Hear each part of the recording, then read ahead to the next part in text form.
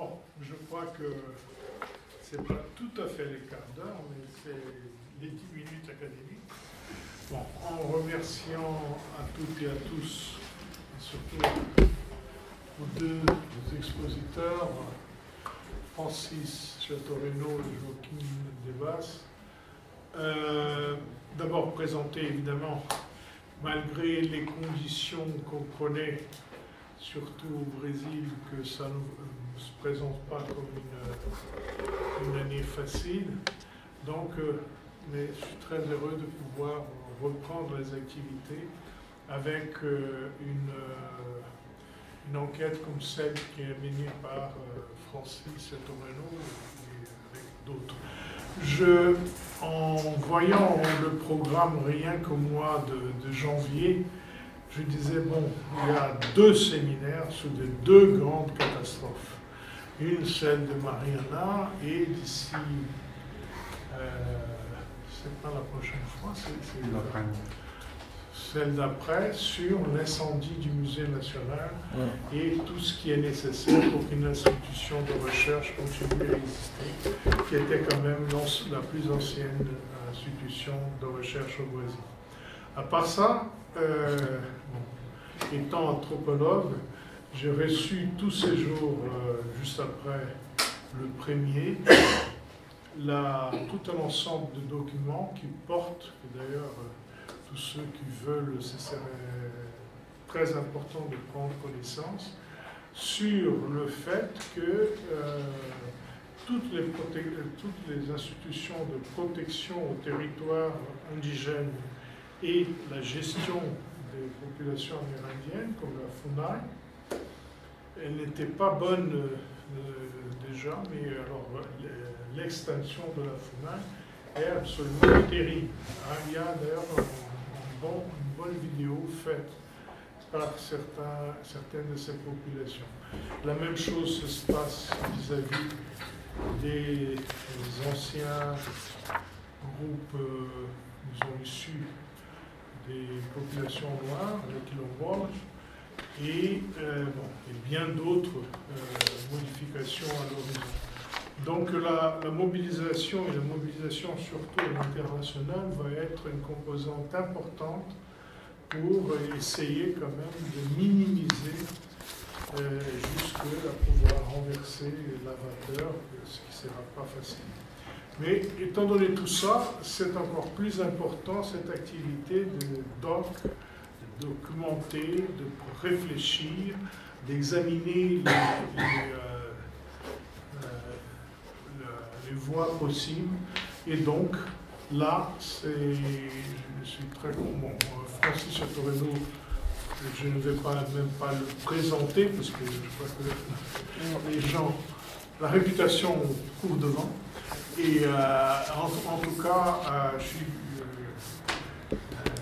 très content que voilà, on reprenne en une discussion qui a commencé, euh, qui a recommencé, parce que euh, euh, tu es allé aux années 80 déjà. au 91, Brésil. 91. 91 pour euh, présenter ce qui était, ce qui était même à cette époque la thèse de doctorat publiée euh, sous forme de livre. Bon, merci beaucoup, on y va.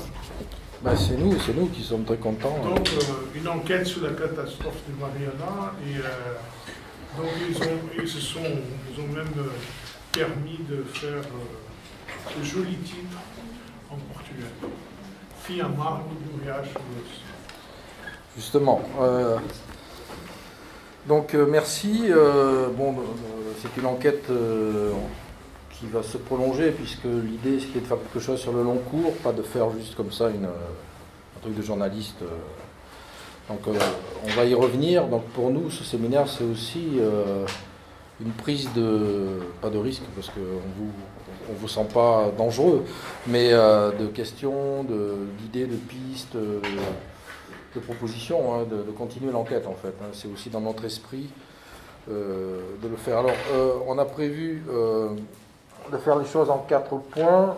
Bon, ça c'était pour dire qu'on n'a pas pris le titre euh, comme ça dans la littérature. On l'a pris dans le centre euh, communautaire de Provençal Provoassan, qui est un, petit village de pêcheurs à l'embouchure du Rio Dotz, qui est, qui est, un village qui a été très très affecté par la catastrophe parce que la pêche est littéralement impossible aujourd'hui, et avec un ressentiment très fort.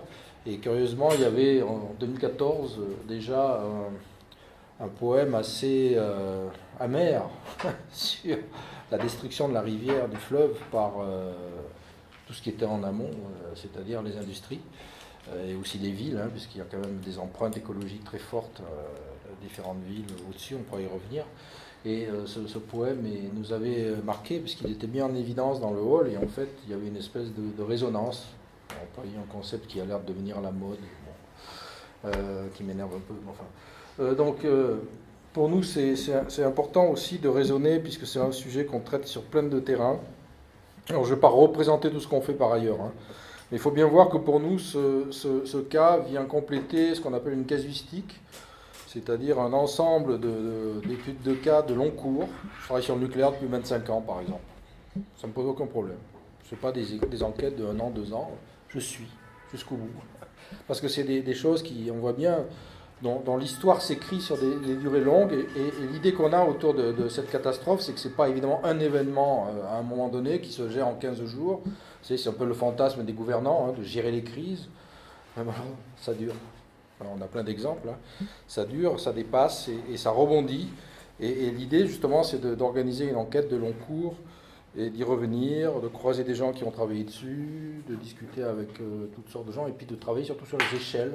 C'est ce qu'on va, va montrer, c'est qu'on ne peut pas rester à une seule échelle de, description. Très souvent, les sociologies, à cause des studies, à cause des différentes théories sociales, hein, on a Frédéric est un expert de tout ça, euh, il y a souvent un choix d'échelle qui serait la meilleure. Euh, non, là on se rend compte qu'en changeant d'échelle, on voit, la catastrophe différemment, etc.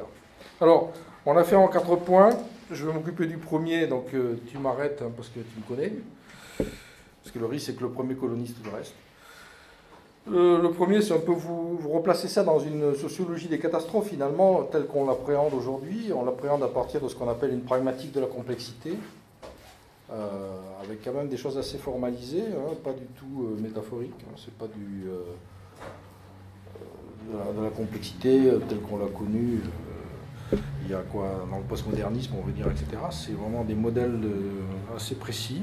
Euh, ensuite, on, je pense, Josquin, tu, tu, décriras un peu le parcours de terrain qu'on a fait donc, de Bento Rodriguez, qui est le, village qui a été rayé hein, tout de suite hein, par la, rupture du barrage. Euh, donc, début novembre 2015, euh, il a été rayé de la carte, littéralement, il reste quelques maisons. Euh, il n'y a eu qu'une vingtaine de morts, euh, parce que les gens étaient au travail, etc. Et puis surtout, après, ben, ça a continué jusqu'à l'embouchure, et ça continue encore d'ailleurs euh, sur l'Atlantique, puisqu'il y a des conséquences écologiques de longue durée. Et donc, on a été à Regencia, qui est au bout, donc on a pris les deux, pour l'instant, les deux trucs. Après, on peut travailler sur le milieu, hein, sur le gouverneur Valadares, c'est ça? La, ville qui, est au coude, là, le, fleuve fait un coude. Euh, il y a plein, plein de lieux où il s'est passé des choses, etc. Euh, le point 3, c'est un peu euh, revenir, justement, ça, ça va rebondir sur le point 1, c'est un peu cette, cette, puisqu'on se situe dans une branche pragmatiste de la sociologie, on, a un peu un penchant pour le conséquentialisme, c'est-à-dire regarder comment les conséquences d'une catastrophe se construisent au fil du temps. C'est-à-dire qu'au fond, on n'a pas tout de suite voilà, l'ensemble des, des outputs, comme on dit euh, en ingénierie. Euh, on découvre des choses et en fait, à la fois des émergences, des, dispositifs, euh, des acteurs, des phénomènes, parfois des reconstructions, des créations hein, peuvent surgir chemin faisant, pas que des destructions. mais ça prend du temps et ça demande justement euh, de, une certaine patience dans la construction de l'analyse. Alors que moi, ce qui me frappe beaucoup dans, le milieu intellectuel aujourd'hui, alors c'est vrai particulièrement en France aujourd'hui, c'est-à-dire que tout intellectuel digne de ce nom doit faire une tribune sur les gilets jaunes, tout de suite. surtout, on ne prend pas de recul parce que c'est trop tard. Euh, alors c'est intéressant. Là, là, nous, on est vraiment dans une démarche complètement opposée. Hein. Ça, je voulais le dire dès le début. Hein, on partage ça, cette idée qu'on va euh, prendre le risque ben, d'arriver bien après la bataille, mais ce n'est pas notre problème. Parce que pour comprendre les choses, effectivement, il faut laisser du temps. Et sachant qu'au fil du temps, des configurations changent. Et bon, tu l'as dit, entre-temps, il y a eu une élection. bon, elle était prévisible, l'élection en tant que telle, le résultat pas forcément. qui peut changer pas mal de choses sur le destin de ce genre de dossier, par définition. C'est-à-dire sur les jets d'acteurs, les décisions judiciaires, la, manière dont les différents acteurs vont disposer de moyens et de ressources, en particulier sur l'environnement, pour agir, le rapport évidemment à la communauté internationale qui va, qui va changer, etc., hein, etc. Donc vous voyez que c'est important pour nous de se situer dans cette euh, série longue, et en faisant quand même des exposés ou des présentations ou des textes intermédiaires, bien sûr, hein, il ne s'agit pas non plus de fuir le, moment de, restitution. ceux qui connaissent la thèse sans fin, à un moment il faut quand même arrêter. Et le point 4, qui est un point plus... Euh, nouveau, mais qui euh, aussi en, réponse à, des collègues qui travaillent beaucoup sur les questions de réparation. Je pense à Nicolas Doudier Janine Barbeau, qu'on a rencontré d'ailleurs à Brasilia euh, l'an passé, lors d'un grand colloque sur le pragmatisme euh, franco-brésilien. Mais d'autres, comme la Rachente Mary ou, d'autres collègues, et, la question de, de, la tension que vivent les acteurs intensément entre exigence de réparation et capacité de résilience qui est une tension euh, très forte. Et après une catastrophe, en fait, euh, ils vivent, euh, les communautés vivent différemment cette tension-là, l'aménage. Et donc nous, on va essayer de le penser dans notre jargon, hein, qui est celui du labo et des travaux depuis maintenant 20 ans, des prises. Quelle prise collective pour l'action Pour échapper précisément à l'amertume. Donc vous voyez, on, on, a bien rebouclé sur le point. Parce que le risque, évidemment, c'est l'abattement, c'est le ressentiment. Et on voit bien que c'est parfois les, effets agrégés émergents d'une accumulation de ressentiments, ça produit le terreau euh, de ce qui surprend toujours les intellectuels après coup. Enfin, comment, en est-on arrivé là? Ben oui, ces choses silencieuses, peu visibles, qui n'ont pas trouvé leur espace de parole, et non leur espace de recréation ou de, euh, reconstruction. Euh, voilà. Donc, vous voyez, il y a une dimension, on assume hein, toujours dans le pragmatisme à la fois une forte exigence de description et d'enquête, de formalisation conceptuelle et en même temps normative. L'objectif, c'est pas de, donner une vision totalement cynique et pessimiste, et je partage d'ailleurs des diagnostics de, Frédéric Vandenberg et Alain Caillé, hein, qu'il y a attention dans le postmodernisme et dans les, démarches post-structuraux euh, marxistes, etc. Il y a eu énormément de visions noires, hein, euh, au fond, fermant l'espace des possibles, en faisant des acteurs, au fond, des, pas forcément des marionnettes des structures, mais en tout cas des, acteurs voués à être euh, sous gouvernementalité, sous euh, pression néolibérale, sous euh, version euh, cynique, etc. Bon, j'ai déjà été très long. Donc, ça va aller assez vite parce que les catastrophes, on peut les mettre en série aujourd'hui. C'est vrai que ce qui est fascinant depuis le XVIIIe siècle, c'est qu'il y a eu un nombre de catastrophes hallucinants. Là, j'en prends juste quatre récentes sur lesquelles j'ai travaillé. Ici, vous avez une catastrophe dont vous avez peut-être oublié la, l'image, mais c'est la catastrophe d'AZF à Toulouse. Vous savez que pendant des dizaines d'années, les Toulousains ont vécu avec une usine Céveso euh, hyper dangereuse en l'ayant complètement oublié. Et en quelques minutes, d'une certaine manière, ce dispositif s'est rappelé à la mémoire collective, au point d'ailleurs de transformer aujourd'hui la régulation du risque des usines chimiques, puisqu'on est passé à Céveso 2, après AZF, hein, donc l'explosion, quelques jours après le 11 septembre 2001, le 22 ou 21 septembre, je crois, à Toulouse, il y a eu cette explosion avec pas mal de morts et de blessés, et il y a encore la trace hein, euh, à Toulouse. Fukushima, qui a fait basculer le, dossier du nucléaire, la catastrophe euh, de trop, mais qu'attendaient beaucoup d'acteurs qui étaient antinucléaires, euh, qui aujourd'hui encore produit des traces. Celui-là, tout le monde l'a oublié, mais est resté très marquant au Québec. C'est le lac mégantique. C'est un train bourré de produits chimiques qui rate son virage en arrivant, après avoir visiblement un problème de freinage, et raille un village de la carte. Tout le monde était au bar du village pour fêter un, événement. Il y a eu 50 morts d'un coup, grillés euh, dans, le truc, etc. Et puis euh, le pont de Gênes, déjà oublié. Hein. Ce qui est, fascinant dans les catastrophes, c'est-à-dire qu'à la fois elles s'enchaînent, elles se multiplient. Quand on les met en série, c'est assez impressionnant. C'est comme les attentats. Et, en même temps, la mémoire est difficile. Sur chaque catastrophe, il y a un travail de mémoire à faire pour, euh, pour la maintenir dans la durée et lui donner toute son importance et sa singularité. Puisque dans chaque catastrophe, il y a une singularité. Elles sont à la fois, elles se ressemblent, elles sont à chaque fois différentes. C'est pour ça qu'on n'a pas pris des barrages, on aurait pu prendre des barrages, des ruptures de barrages, il y en a eu plein. Hein. et celle de Mariana vient à la, suite d'une longue série de ruptures, etc. Évidemment, les catastrophes sont encore d'autant plus marquantes y compris pour le chercheur quand elle touche à des lieux vécus. Autant j'ai pas été souvent me balader autour de l'usine AZF à Toulouse. Par contre, ce train-là, je le prends pratiquement une fois par mois depuis 20 ans. Et un jour, à Bretigny, il a déraillé et il y a eu des morts. Et d'ailleurs, depuis, ce train passe à 10 km/h dans la gare de Bretigny. Alors, c'est pas en souvenir d'eux, mais c'est parce que les, règles de sécurité ont changé, etc. Donc, euh, ça arrive, vous voyez, près de chez nous, comme on dit. Hein. Et puis, euh, évidemment, le Musée national de, Rio, qui est assez récent, euh, que j'ai connu, puisque c'est d'ailleurs là qu'on Enfin, on se connaissait un peu avant, mais où on a fait certaines connaissances, puisque j'étais en gros en postdoc, on peut dire, à l'époque. Hein. Euh, et donc, je suis évidemment d'autant plus affecté que le lieu est investi. Donc, vous voyez que les catastrophes, c'est aussi effectivement des valeurs euh, collectives, mais c'est aussi des affects. Hein, ça va toucher euh, des formes de vie, etc. À travers toute cette collection de catastrophes, qu'on les prenne, quel que soit le bout, vas-y. tu as détecté cette catastrophe-là euh, euh, de Mariana par un biais tout à fait particulier. tu avais raconté une fois. Ce serait important de rappeler, non? Par le biais, tu veux dire que, que tu étais en train d'examiner déjà euh, des, choses qui pouvaient se produire. Oui, oui, oui, oui. Ça, on va y venir peut-être après. ah, d'accord. Dans la manière dont on est rentré sur ce terrain-là, pourquoi on a choisi ce terrain-là plus qu'un autre euh, oui, oui, effectivement. ça faisait deux ans qu'avec des collègues, notamment de Florianopolis, on essayait de voir quel type d'objet commun on pouvait se donner avec Mauricio, Mauricio, Mauricio et ses collègues, ses étudiants, euh, pour justement essayer d'investir euh, un terrain, parce que l'idée étant que, bon, on va souvent au Brésil, hein, mais y aller uniquement faire des conférences ou des, séminaires, c'est frustrant de point de vue, parce que c'est toujours intéressant justement de profiter de la présence dans un autre contexte pour aller un peu sur le terrain. on l'avait fait, rappelle-toi, dans le, au nord de Rio, hein, quand on était allé voir les coupeurs de cannes, et euh, enfin bon, ça avait été un terrain assez chaud.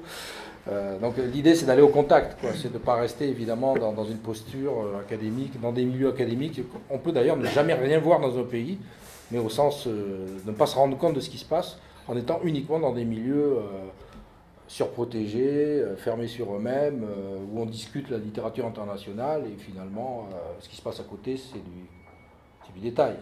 Là, l'idée, au contraire, c'est d'ouvrir, de, profiter de l'occasion pour ouvrir. Et l'autre point qui rendait délicat le, choix, c'était qu'on ne voulait pas non plus faire du tourisme académique ou du. Voilà, il fallait que ce soit quelque chose qui. Oui, on, on, a une éthique. On a une éthique On ne va pas là, trop tellement à la plage finalement quand on va au Brésil. Parce que dès qu'on dit à nos collègues qu'on va au Brésil, évidemment, le fantasme, c'est qu'on on est à Copacabana ou à Ipanema ou à, Bahia et pas euh, sur le terrain. Non, non, non, il y, a, un vrai euh, besoin de. Mais on le fait en Angleterre, on le fait ailleurs. Hein, Alors, dans toute cette série de catastrophes, il y a une propriété émergente, commune, sur laquelle on a beaucoup travaillé. Il y a toujours quelqu'un qui dit J'avais prédit la catastrophe. J'avais dit que ça allait avoir lieu. Je ne connais pas de cas de catastrophe où quelqu'un ne surgit pas après coup en disant Je l'avais dit. Au lieu de dire Bon, c'est ridicule, Prenons au sérieux euh, ce genre de choses et regardons comment s'était construite l'alerte. Euh, parce que c'est lié évidemment à la thématique des lanceurs d'alerte qu'on a particulièrement investi et développé dans nos travaux. Il y a toujours, là c'est encore une autre catastrophe qu'on a beaucoup oublié, c'est Deepwater Horizon qui était une plateforme pétrolière euh, dans l'Atlantique qui a complètement pollué tout le golfe du Mexique pour 30 ans avec un énorme procès derrière. Et là aussi, des ingénieurs avaient dit qu'il ne faut, faut, pas rogner sur les coûts de maintenance, parce que très souvent, ça vient de là. C'est-à-dire qu'au fond, on ne fait plus attention, hein. on ne s'occupe pas des choses, et on est dans des situations, etc. Et évidemment, euh, sur Mariana, euh, si, c'est vrai, c'est-à-dire si c'est énoncé qu'il y a toujours des acteurs pour dire on avait prévu, on a effectivement le cas qui se produit. Alors, certains slides sont en anglais, d'autres sont en, français. En portugais, il n'y en a peut-être pas tellement, un peu on va changer, mais c'est pas. Voilà. Donc en gros, là, euh, les, risques étaient connus, des acteurs avaient prévu, il y avait eu des enquêtes qui disaient il faudra faire telle ou telle chose sur tel ou tel barrage, et le barrage euh, dit de Mariana, mais qui en fait est un peu en, dessous, juste au-dessus de, de, Bento Rodriguez, justement, donc, relevant de Samarco, c'est une entreprise compliquée, liée à Vallée et liée à un groupe international australien. Euh, donc là aussi, britannico-australien, donc des chaînes de sous-traitance, hein, très souvent aussi ça, surgit comme une propriété générale de ces catastrophes. Euh, voilà, donc vous voyez que ça, ça marche. À chaque fois, on a toujours des acteurs qui, qui, ressortent les inspections, euh, les alertes, euh, les suspicions, les inquiétudes. Alors parfois, ça peut être des villageois qui s'inquiètent, des ingénieurs, des journalistes, des chercheurs, des, des organisations internationales, etc. Alors, un point rapide là-dessus. Je ne veux pas être trop long, mais c'est pour vous montrer dans quel cadre intellectuel on aborde ces questions-là. en Europe, en partie aux États-Unis, mais surtout en Europe, depuis maintenant une trentaine d'années, il y a une défiance euh, évidente sur les solutions technologiques. Euh, ce qui donne lieu à des controverses lourdes, puisque évidemment en face on nous dit non, c'est la résistance au changement, l'innovation technologique c'est l'avenir, euh, il faut, voilà, etc. En fait, on sait aujourd'hui, et les catastrophes sont très liées à ça, qu'à chaque fois qu'on avance une solution technologique, que ce soit un barrage, que ce soit une centrale nucléaire, que ce soit un véhicule autonome, un nouveau smartphone, etc. Euh, il y aura tout un, ensemble de problèmes qui vont naître, qui vont surgir. Euh, évidemment, il va falloir assurer la stabilité des dispositifs. Euh, il va falloir redéfinir les environnements pour que les dispositifs ne soient pas grignotés par l'environnement. Hein. Ça veut dire, par exemple, aménager les terrains pour éviter, par exemple, qu'une une installation industrielle bouge ou soit, soit gagnée par l'érosion, enfin toutes sortes de choses. il va falloir trouver des, évidemment des matières premières, euh, ce qui veut dire parfois euh, se lancer dans des guerres euh, lointaines qui ne disent pas leur nom, pour trouver des, par exemple des, mines, des minerais. vous savez que la France a un rapport tout à fait remarquable avec le Kazakhstan. Hmm? On n'en parle jamais. Parce que l'uranium du futur, il est au Kazakhstan. Et qu'on va avoir besoin d'uranium si on relance le nucléaire, bon, etc. La maintenance, qui est peut-être le point qui a été le plus souligné parce que c'est celui qui apparaît le plus évident, mais la maintenance n'est qu'un des aspects. Très souvent, on dit voilà, c'est parce qu'il y avait un problème de maintenance. Mais c'est une manière de réduire aussi la philosophie des techniques. Il y a toute la, série, donc évidemment les pollutions, la toxicité, euh, la compatibilité avec les normes et les standards euh, des autres techniques, euh, les questions de propriété et d'accès au savoir, le transfert de compétences, très important. Là aussi, sur Mariana et sur le, barrage, la, question des générations d'ingénieurs et de la manière dont les savoirs se transmettent. Ceux qui ont fait les installations ne sont plus forcément ceux qui les pilotent. Et donc là aussi, il y a des pertes qui, se, qui peuvent se jouer, de savoir, de, détails, etc., etc. Les déchets, euh, Alors, autre propriété intéressante des catastrophes. Alors, aujourd'hui, tout au long du XXe siècle et jusqu'à aujourd'hui, on voit émerger toute une manière de cartographier, euh, objectiver, euh, marquer euh, la catastrophe. Et aujourd'hui, l'instrument dominant, on va dire, c'est le satellite. Et dans le cas de Mariana, vous voyez, le 11 novembre 2015, donc six jours après la catastrophe, c'est bien le 5, hein, c'est ça, euh, vous avez une image parce que des satellites font régulièrement des clichés sur l'ensemble de, la planète, euh, notamment Pléiade, qui est un satellite français euh, lancé par le CNES, le, Centre national d'études spatiales, et qui effectivement montre comment les deux clichés sur la zone hein, du barrage montrent sur le village montre euh, l'impact de la coulée de boue, euh, qui est assez impressionnante mhm. euh, quand on, y reviendra, et, qui montre que là, il y a une objectivation qui fait qu'on ne peut pas dire non, mais en fait, il ne s'est pas passé grand-chose. Enfin, on, peut imaginer l'état du monde. Rappelez-vous Tchernobyl, on va y revenir, puisque Tchernobyl va servir de, modèle pour la discussion, y compris chez les Brésiliens. De catastrophe qui marque le début de l'effondrement d'un régime.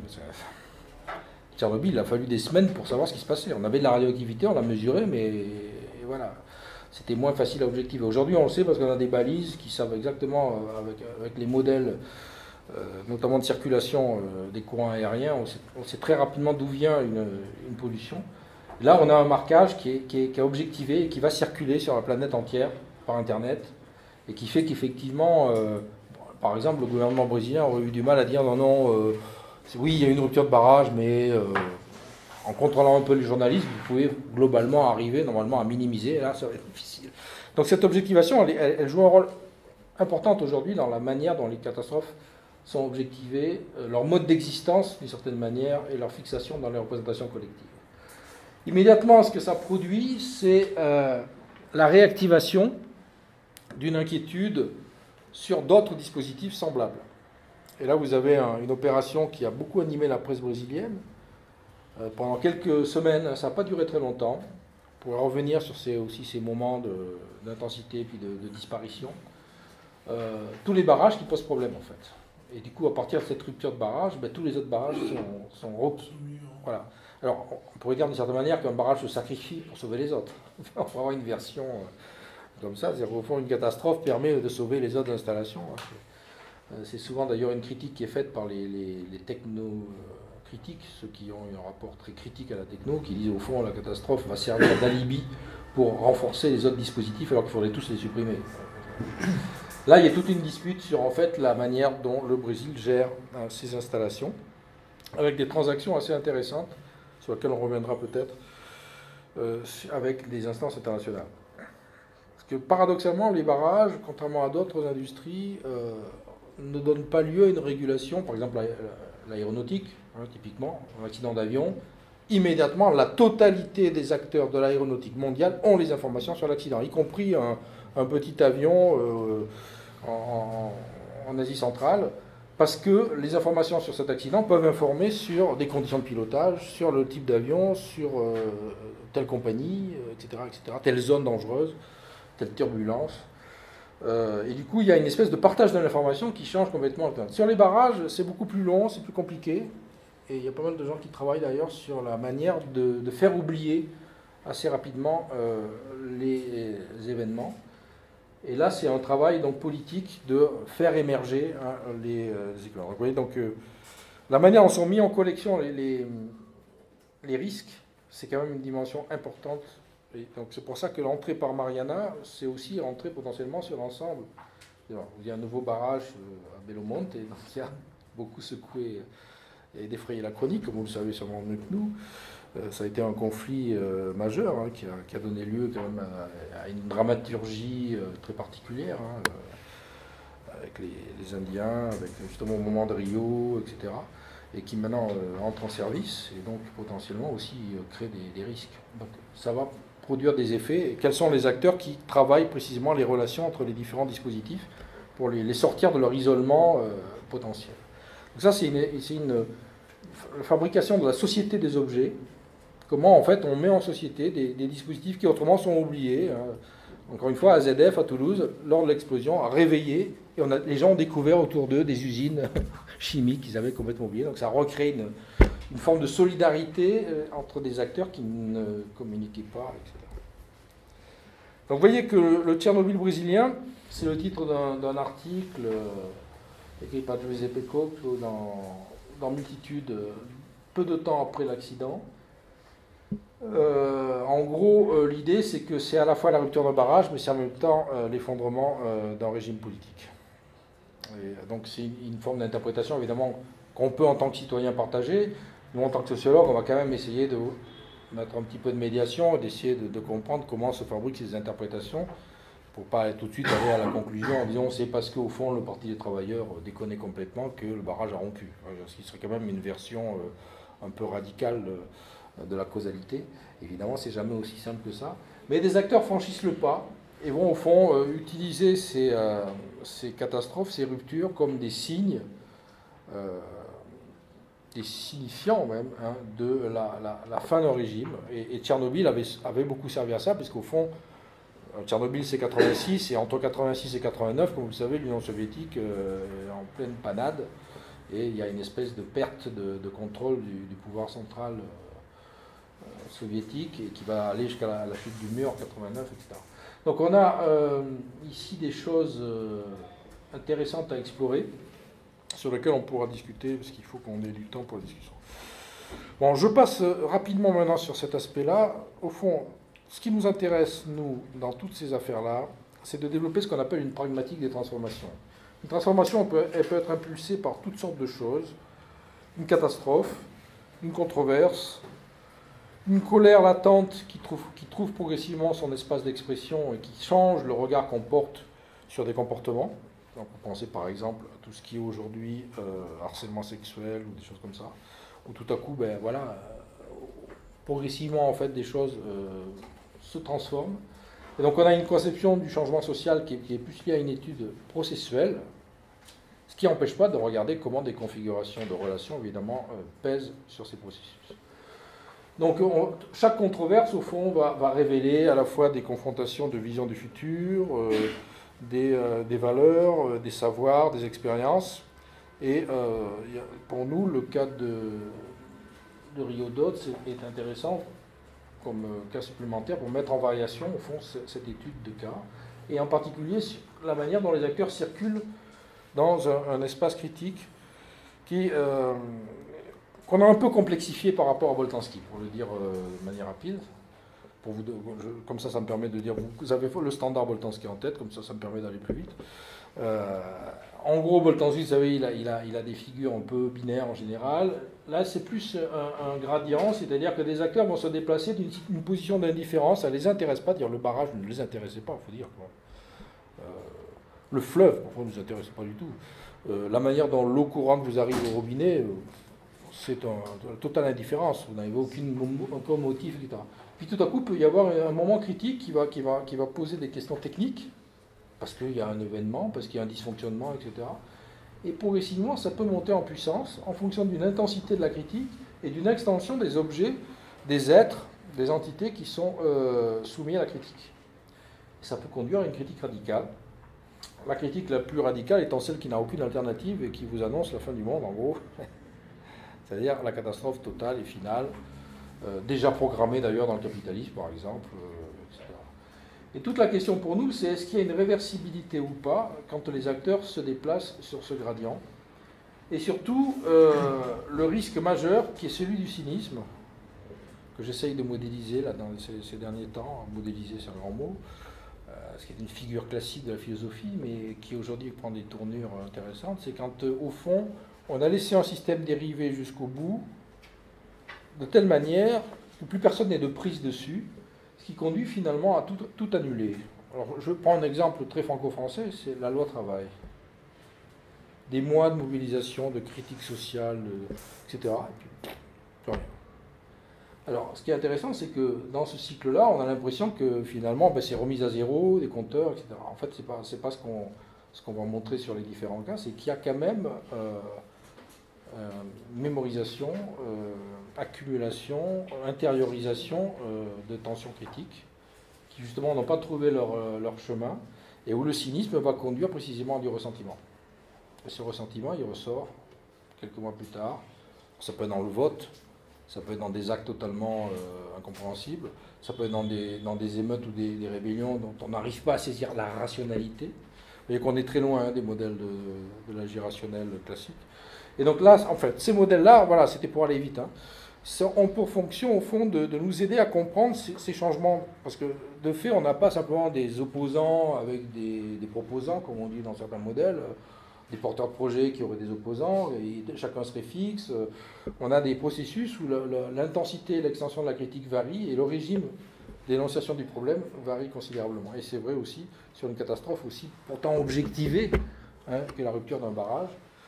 Euh, Alors, encore un point rapide, on va me passer la parole à Josquin. Euh, la critique, on va la concevoir de deux manières, et on va essayer de lier ces deux manières de penser la critique. Dans l'esprit qui, mène de Kant à Boltanski,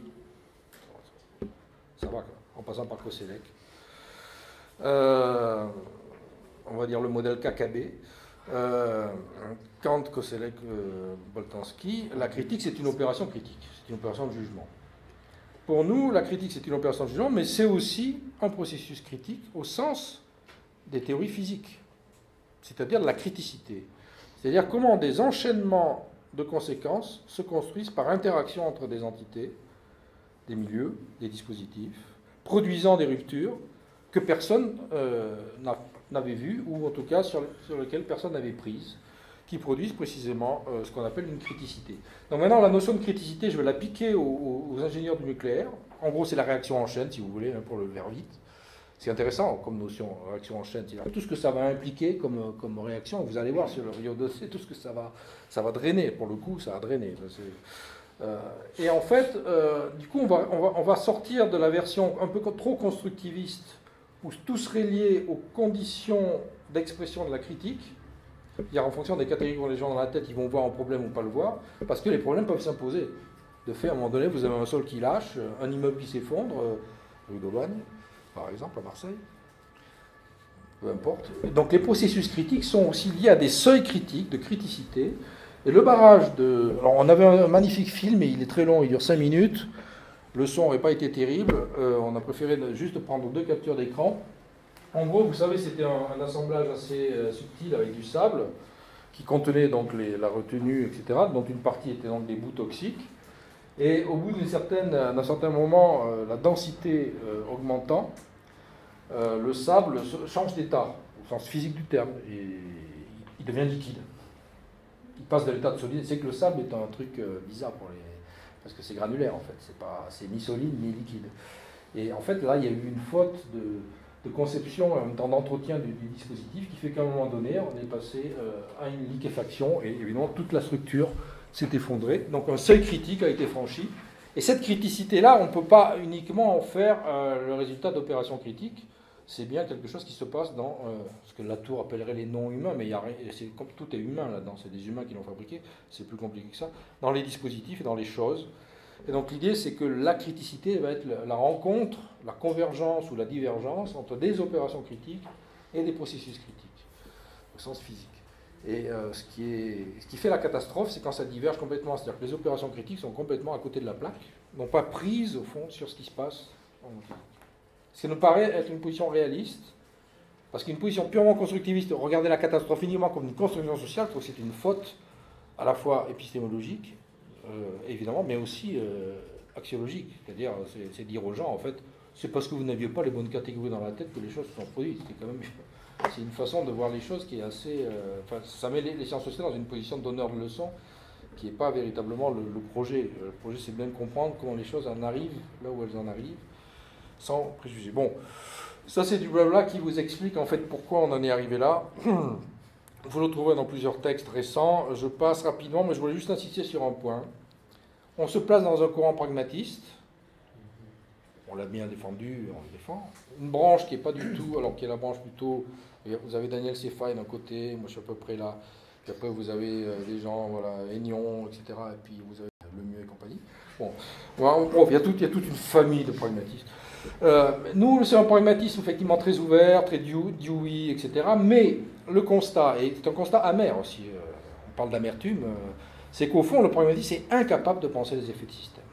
Vraiment incapable de penser les effets de système, c'est-à-dire qu'à chaque fois que des choses se produisent, l'élection par exemple d'un fou total à la tête d'un pays, je prends au hasard, hein, ben, on discute avec des collègues pragmatistes, il y a un trou épistémique, c'est-à-dire que là, on est face à quelque chose dont on n'a pas les catégories, parce qu'il faudrait revenir à une sociologie des systèmes, pourquoi pas Luhmann euh, ou d'autres.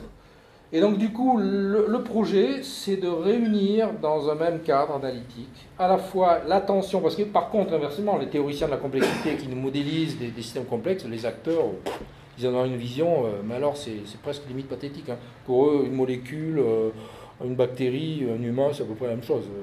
Donc euh, évidemment, euh, il va falloir relier les deux si on veut être capable de retrouver prise sur ces processus où on voit bien que bon, personne n'a de leçon de personne, que ce soit en Italie, en Europe, aux États-Unis. Euh, ils font très fort aux États-Unis en ce moment aussi, hein, c'est pas mal quand même. Bon, enfin bref. donc ce genre de, tension intellectuelle qui est quand même propre à l'histoire des sciences sociales. Hein. Alors on peut dire c'est structure et agentivité, c'est subjectivisme, objectivisme. Pragmatisme et, complexité, je trouve aussi une autre manière de le poser, ça, montre d'autres choses et ça permet surtout d'aller vers les objets. Donc je, passe très vite tout ça parce que c'est du blabla, mais quand je disais que ce n'est pas uniquement usé de manière métaphorique de la complexité, il y a des propriétés formelles des systèmes complexes qui nous intéressent. On pourra en rediscuter, des effets émergents, des futurs largement indéterminés, de la métastabilité, c'est-à-dire que des choses qui sont là pour régler les problèmes sont stables sous certaines conditions extrêmement fragiles il suffit effectivement d'un changement euh, politique ou d'une découverte scientifique ou d'un événement pour qu'en fait ça devienne moins vrai ou moins stable. Et donc ça engrange des révisions critiques qui obligent les acteurs à, changer leur conception. Ce qui nous amène à une forme de logique. Bon, non, en fait tout ça c'est sérieux quand même, hein, c'est pas ce qu'on appelle problématique de transformation, on peut aller jusqu'à le modéliser sous forme de logique, qu'on appelle des logiques non monotones en logique formelle, c'est-à-dire où les, les, règles et les prémices sont modifiées chemin faisant et non plus euh, stables comme dans une règle type si x alors y sous la règle R. Euh, si euh, c'est un homme et qu'il est, etc., il est mortel, etc., ce, genre de syllogisme en fait aujourd'hui est, de moins en moins vérifiable et surtout nous empêche de décrire des processus non monotones dans lequel les acteurs modifient. Et en fait, ça renvoie à une notion qu'on trouve chez Peirce, très tôt, qui est celle de l'abduction, non pas donc la déduction ou l'induction, le troisième terme, qui est celui d'une transformation de la logique elle-même au fil de l'enquête. Et quelque chose qui, est très intéressant. C'est-à-dire qu'au fond, l'enquête, pas seulement chez les chercheurs, mais chez les acteurs, euh, modifie les représentations chemin faisant. Ce qui fait que les prémices qui ont servi à démarrer l'enquête sont complètement révisées et les questions qui se posent ne sont plus tous les mêmes qu'au début. Ce qui est assez intéressant, notamment sur la question de la communication publique, puisque très souvent les malentendus viennent du fait que les acteurs soit ont maintenu un cadre initial et n'ont pas révisé, soit au contraire l'ont révisé trop vite, sans tenir compte des, conditions de transformation et, ne parlent plus de la même chose du tout. On, est en plein dedans ici euh, ces temps-ci. Voilà, ça c'était pour... Euh, faire plaisir à Frédéric, euh, qu'on peut revenir aux questions de la contingence chez blablabla. Euh, Ça a plein de conséquences, cette approche, notamment sur la question de la place de l'écologie dans, les théories sociales. Ici, dans Panarchy, qui est un grand bouquin, hein, un grand livre qui essaye d'implémenter le fameux, les fameux triangles du développement durable, l'économique, le social, l'écologie, l'environnement en disant mais comment faire, etc. Donc ils, reprennent les thèses d'Ostrom sur les communs, ils essayent de fabriquer un, modèle de résilience, justement, ce qui permet d'expliquer pourquoi le monde ne s'effondre pas complètement. C'est un peu notre manière de renverser la question, c'est pourquoi on ne s'est pas encore effondré en fait. Et donc nous, on a une approche justement qui permet de compléter avec un point de vue plus social, justement, alors que là c'est quand même l'économique et l'écologie qui dominent. Euh, on renverse un peu un certain nombre de, leurs énoncés dans le bouquin au bord de l'irréversible. Voilà, bon, c'était juste pour vous chauffer un peu les neurones, et maintenant on va enfin parler de, l'objet. Euh... Il fait court. Hein. Oui, très court. euh, donc pour... Euh, c'est moi qui dois chauffer maintenant. Alors, euh, on, a, on a donc... Euh... Pardon, juste, ça serait bien après de donner une référence biographique pour pouvoir retourner au oui, oui. Je te j'enverrai les liens. Donc sur le sur le sur le cas lui-même, euh, donc comme Francis l'a indiqué, on était à la recherche de quelque chose qui, donnerait du sens au, lien qu'on avait commencé à créer avec le, le enfin, un nouveau sens qui, aurait été destiné à l'enrichir. Hein. Et euh, la, catastrophe étant arrivée, elle s'est imposée à nous, et euh, en particulier parce que euh, dans ce genre de, comme on l'a vu, il y a toute une succession des, catastrophes, et elles ont tendance à, disparaître dans le temps, d'autant plus qu'elles sont éloignées de, leur point de, réception. Donc, depuis l'Europe, on savait que l'actualité allait très rapidement faire disparaître euh, cet objet qui pourtant est un, est un objet euh, majeur, une, une, des pires catastrophes qui soit, qui soit arrivée en termes de, de conséquences. Alors pas de nombre de morts directs, puisque souvent c'est la mesure des, catastrophes, c'est ça, c'est combien de morts. Ici, euh, sur, le moment immédiat, c'était relativement faible, mais les conséquences à, évaluer, donc l'autre mesure typique d'une catastrophe, c'est son coût euh, économique. Et donc là, on est de, l'ordre de plusieurs centaines de milliards. Donc euh, quelque chose qui, dépasse l'entendement, euh, ou en tout cas l'entendement de la plupart d'entre nous. Et donc assez vite, on, a, on, a, on s'est dit, ben voilà, on va, on va essayer de prendre, prendre marque sur, sur, sur cet objet-là et de, manière ensuite à ouvrir la, voie à des enquêtes de, de, long terme on ne fera pas forcément nous, mais au moins on aura poser une première pierre qui pourra servir éventuellement à d'autres ou à nous si on arrive à, durer sur cet objet-là. Et, donc on a été voir ce qui est, ce qui est donc une des pollutions de la cinquième plus grande, du cinquième fleuve hein, brésilien. Et euh, donc on a été, euh, comme ici l'article qui, sort juste après, euh, donc ici on est au 19 novembre 2015, hein, parle de la, scène du crime. Donc on a été assez rapidement, parce que l'occasion s'en présenter, sur, sur la scène du crime. donc ici on a Bento Rodriguez, c'est juste à côté de, Mariana dans, dans le Minas Gerais.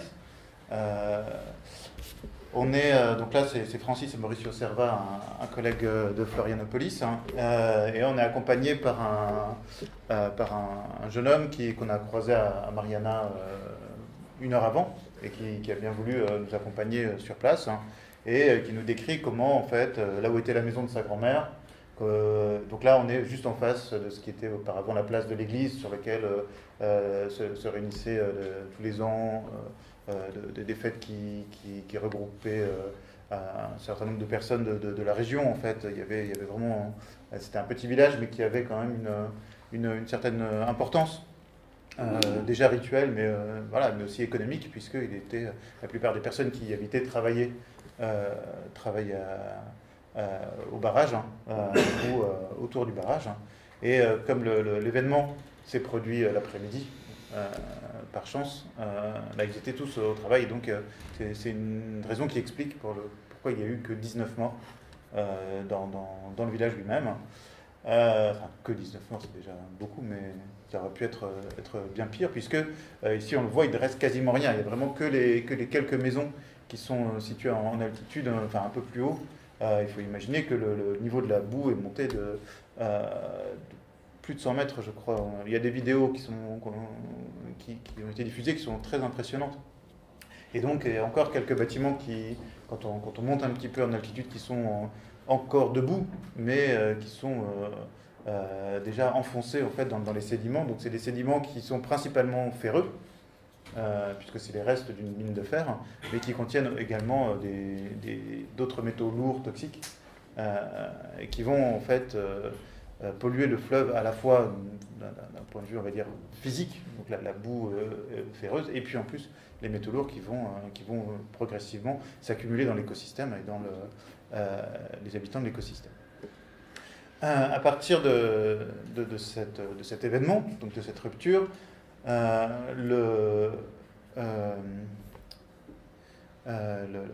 y a une énorme vague de boue qui va se répandre hein, sur le fleuve. Hein, euh, et donc, sur les 650 km de bassin versant restant du fleuve, hein, euh, cette vague gigantesque euh, descend et elle va mettre à peu près 15 jours à, descendre jusqu'à l'embouchure. Pendant 15 jours, en tout cas les, premiers temps, elle est encore à, 15 mètres parfois de, haut. Enfin, ça dépend après de la largeur du lit. Mais donc elle, passe dans, les barrages avec une violence assez, assez extrême et en particulier euh, frappante pour les personnes qui attendent en aval hein, et qui voient euh, les, images à la télévision ou sur, euh, sur Internet et qui se disent mais quand ça va arriver chez nous, est-ce qu'on va être submergé ou est-ce que ça se sera calmé, on aura une simple pollution et pas forcément un, tsunami qui va venir tout, tout, détruire.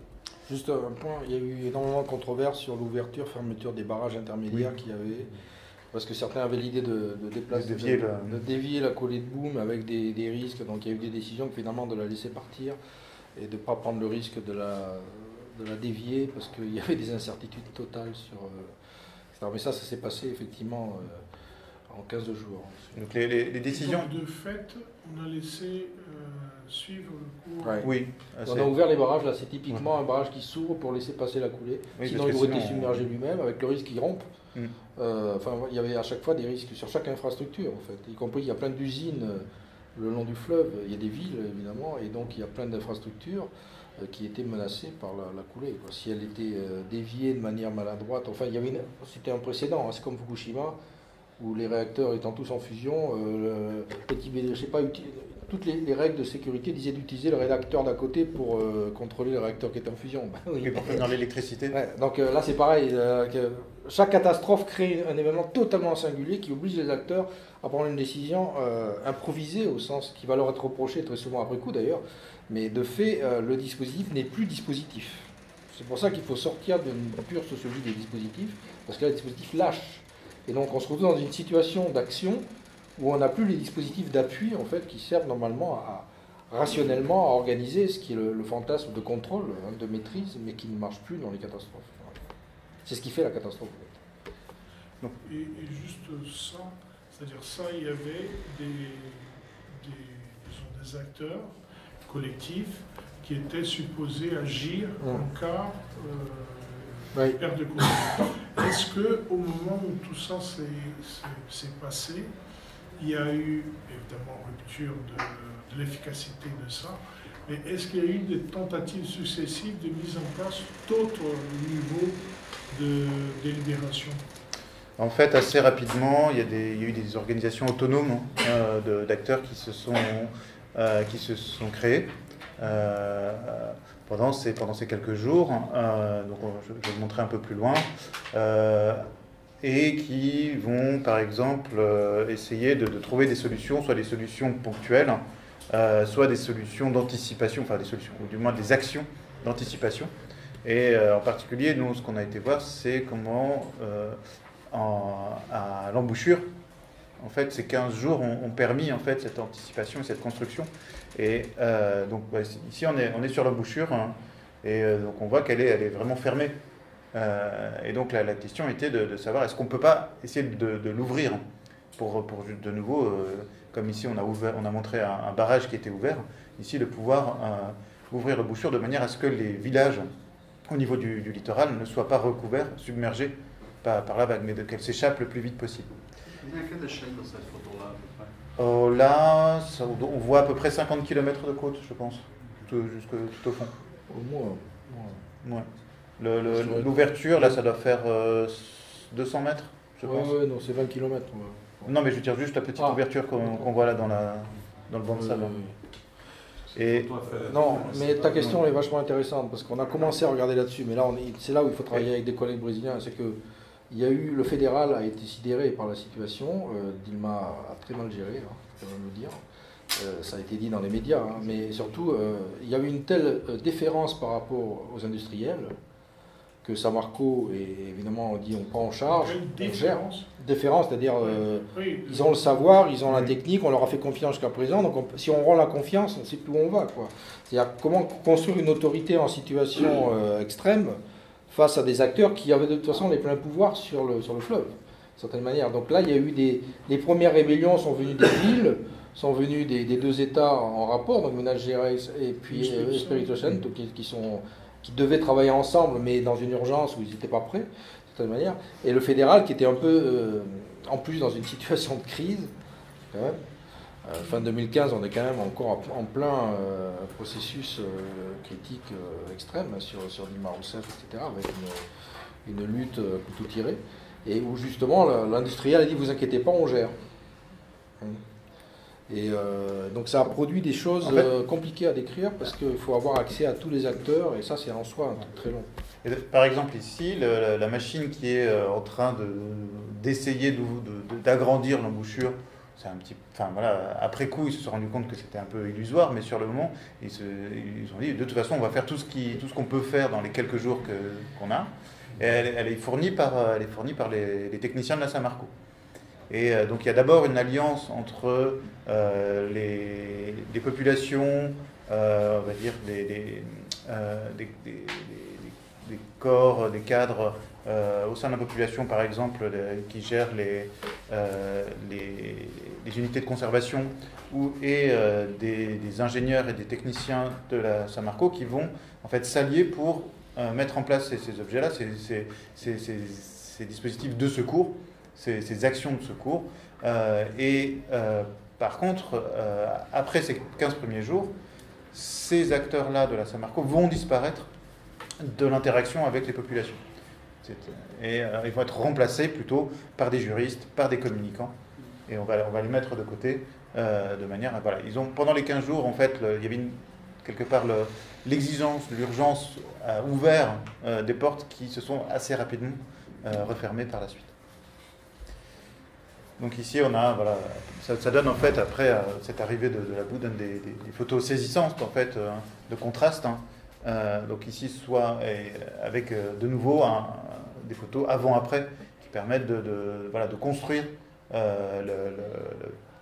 les conséquences de la catastrophe en fait en, en, marquant la différence temporelle. Et donc autour de, l'embouchure du, fleuve, à Régencia en particulier où, on est resté, euh, l'activité économique était liée à la pêche et au tourisme, euh, en particulier euh, un tourisme de, surf. Hein.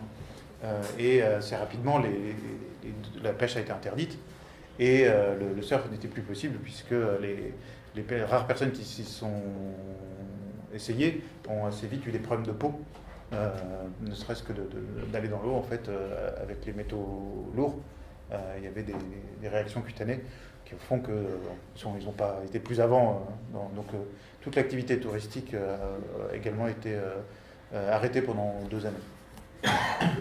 Donc ici, c'est le, terrain d'enquête de, l'embouchure du, fleuve. Donc on est dans la, commune de Lignares.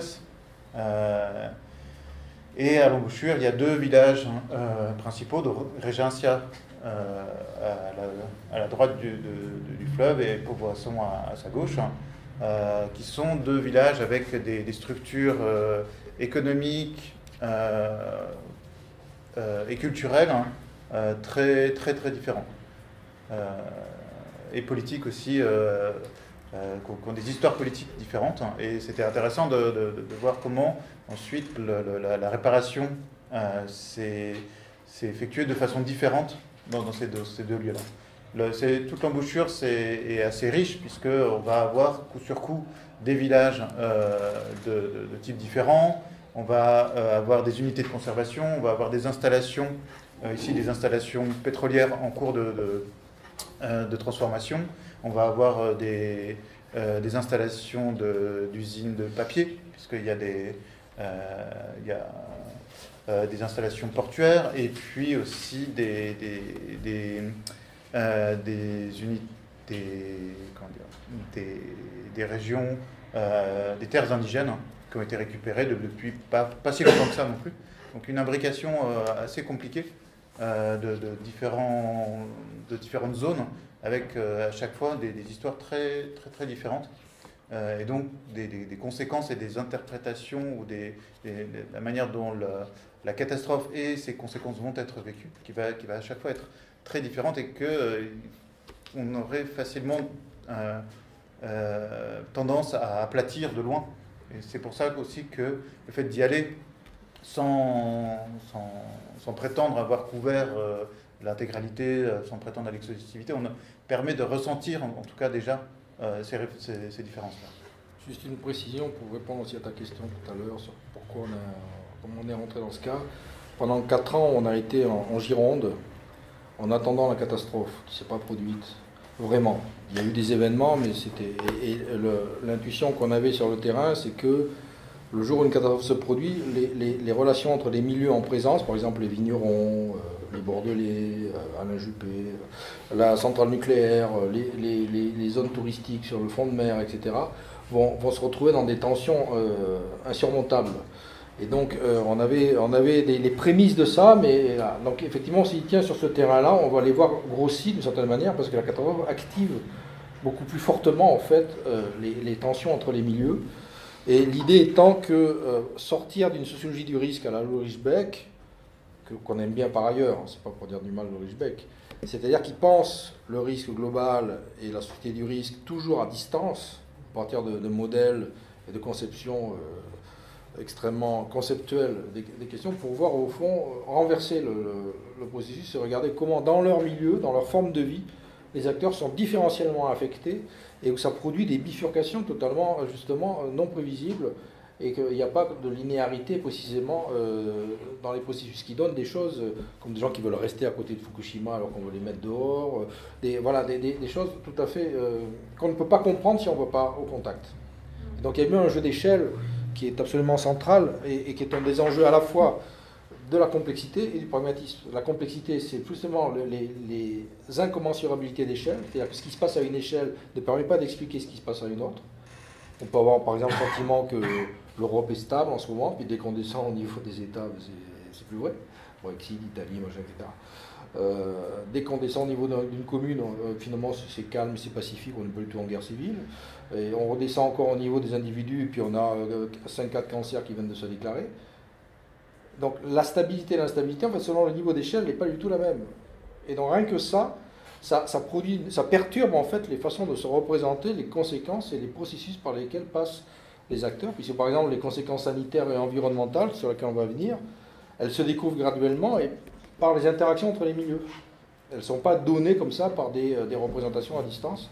Ce qui serait le rêve évidemment d'une ingénierie, hein, d'un management, d'une gouvernance, pour employer des mots grossiers vraiment, euh, euh, des risques et de l'environnement qui permettrait justement à partir d'institutions internationales, le GIEC, le machin, etc., de piloter en fait le climat par exemple, on prend des décisions au niveau global, il n'y a plus qu'à les appliquer. Mais non, en fait, euh, au niveau local, tout est renversé d'une certaine manière, tout, change.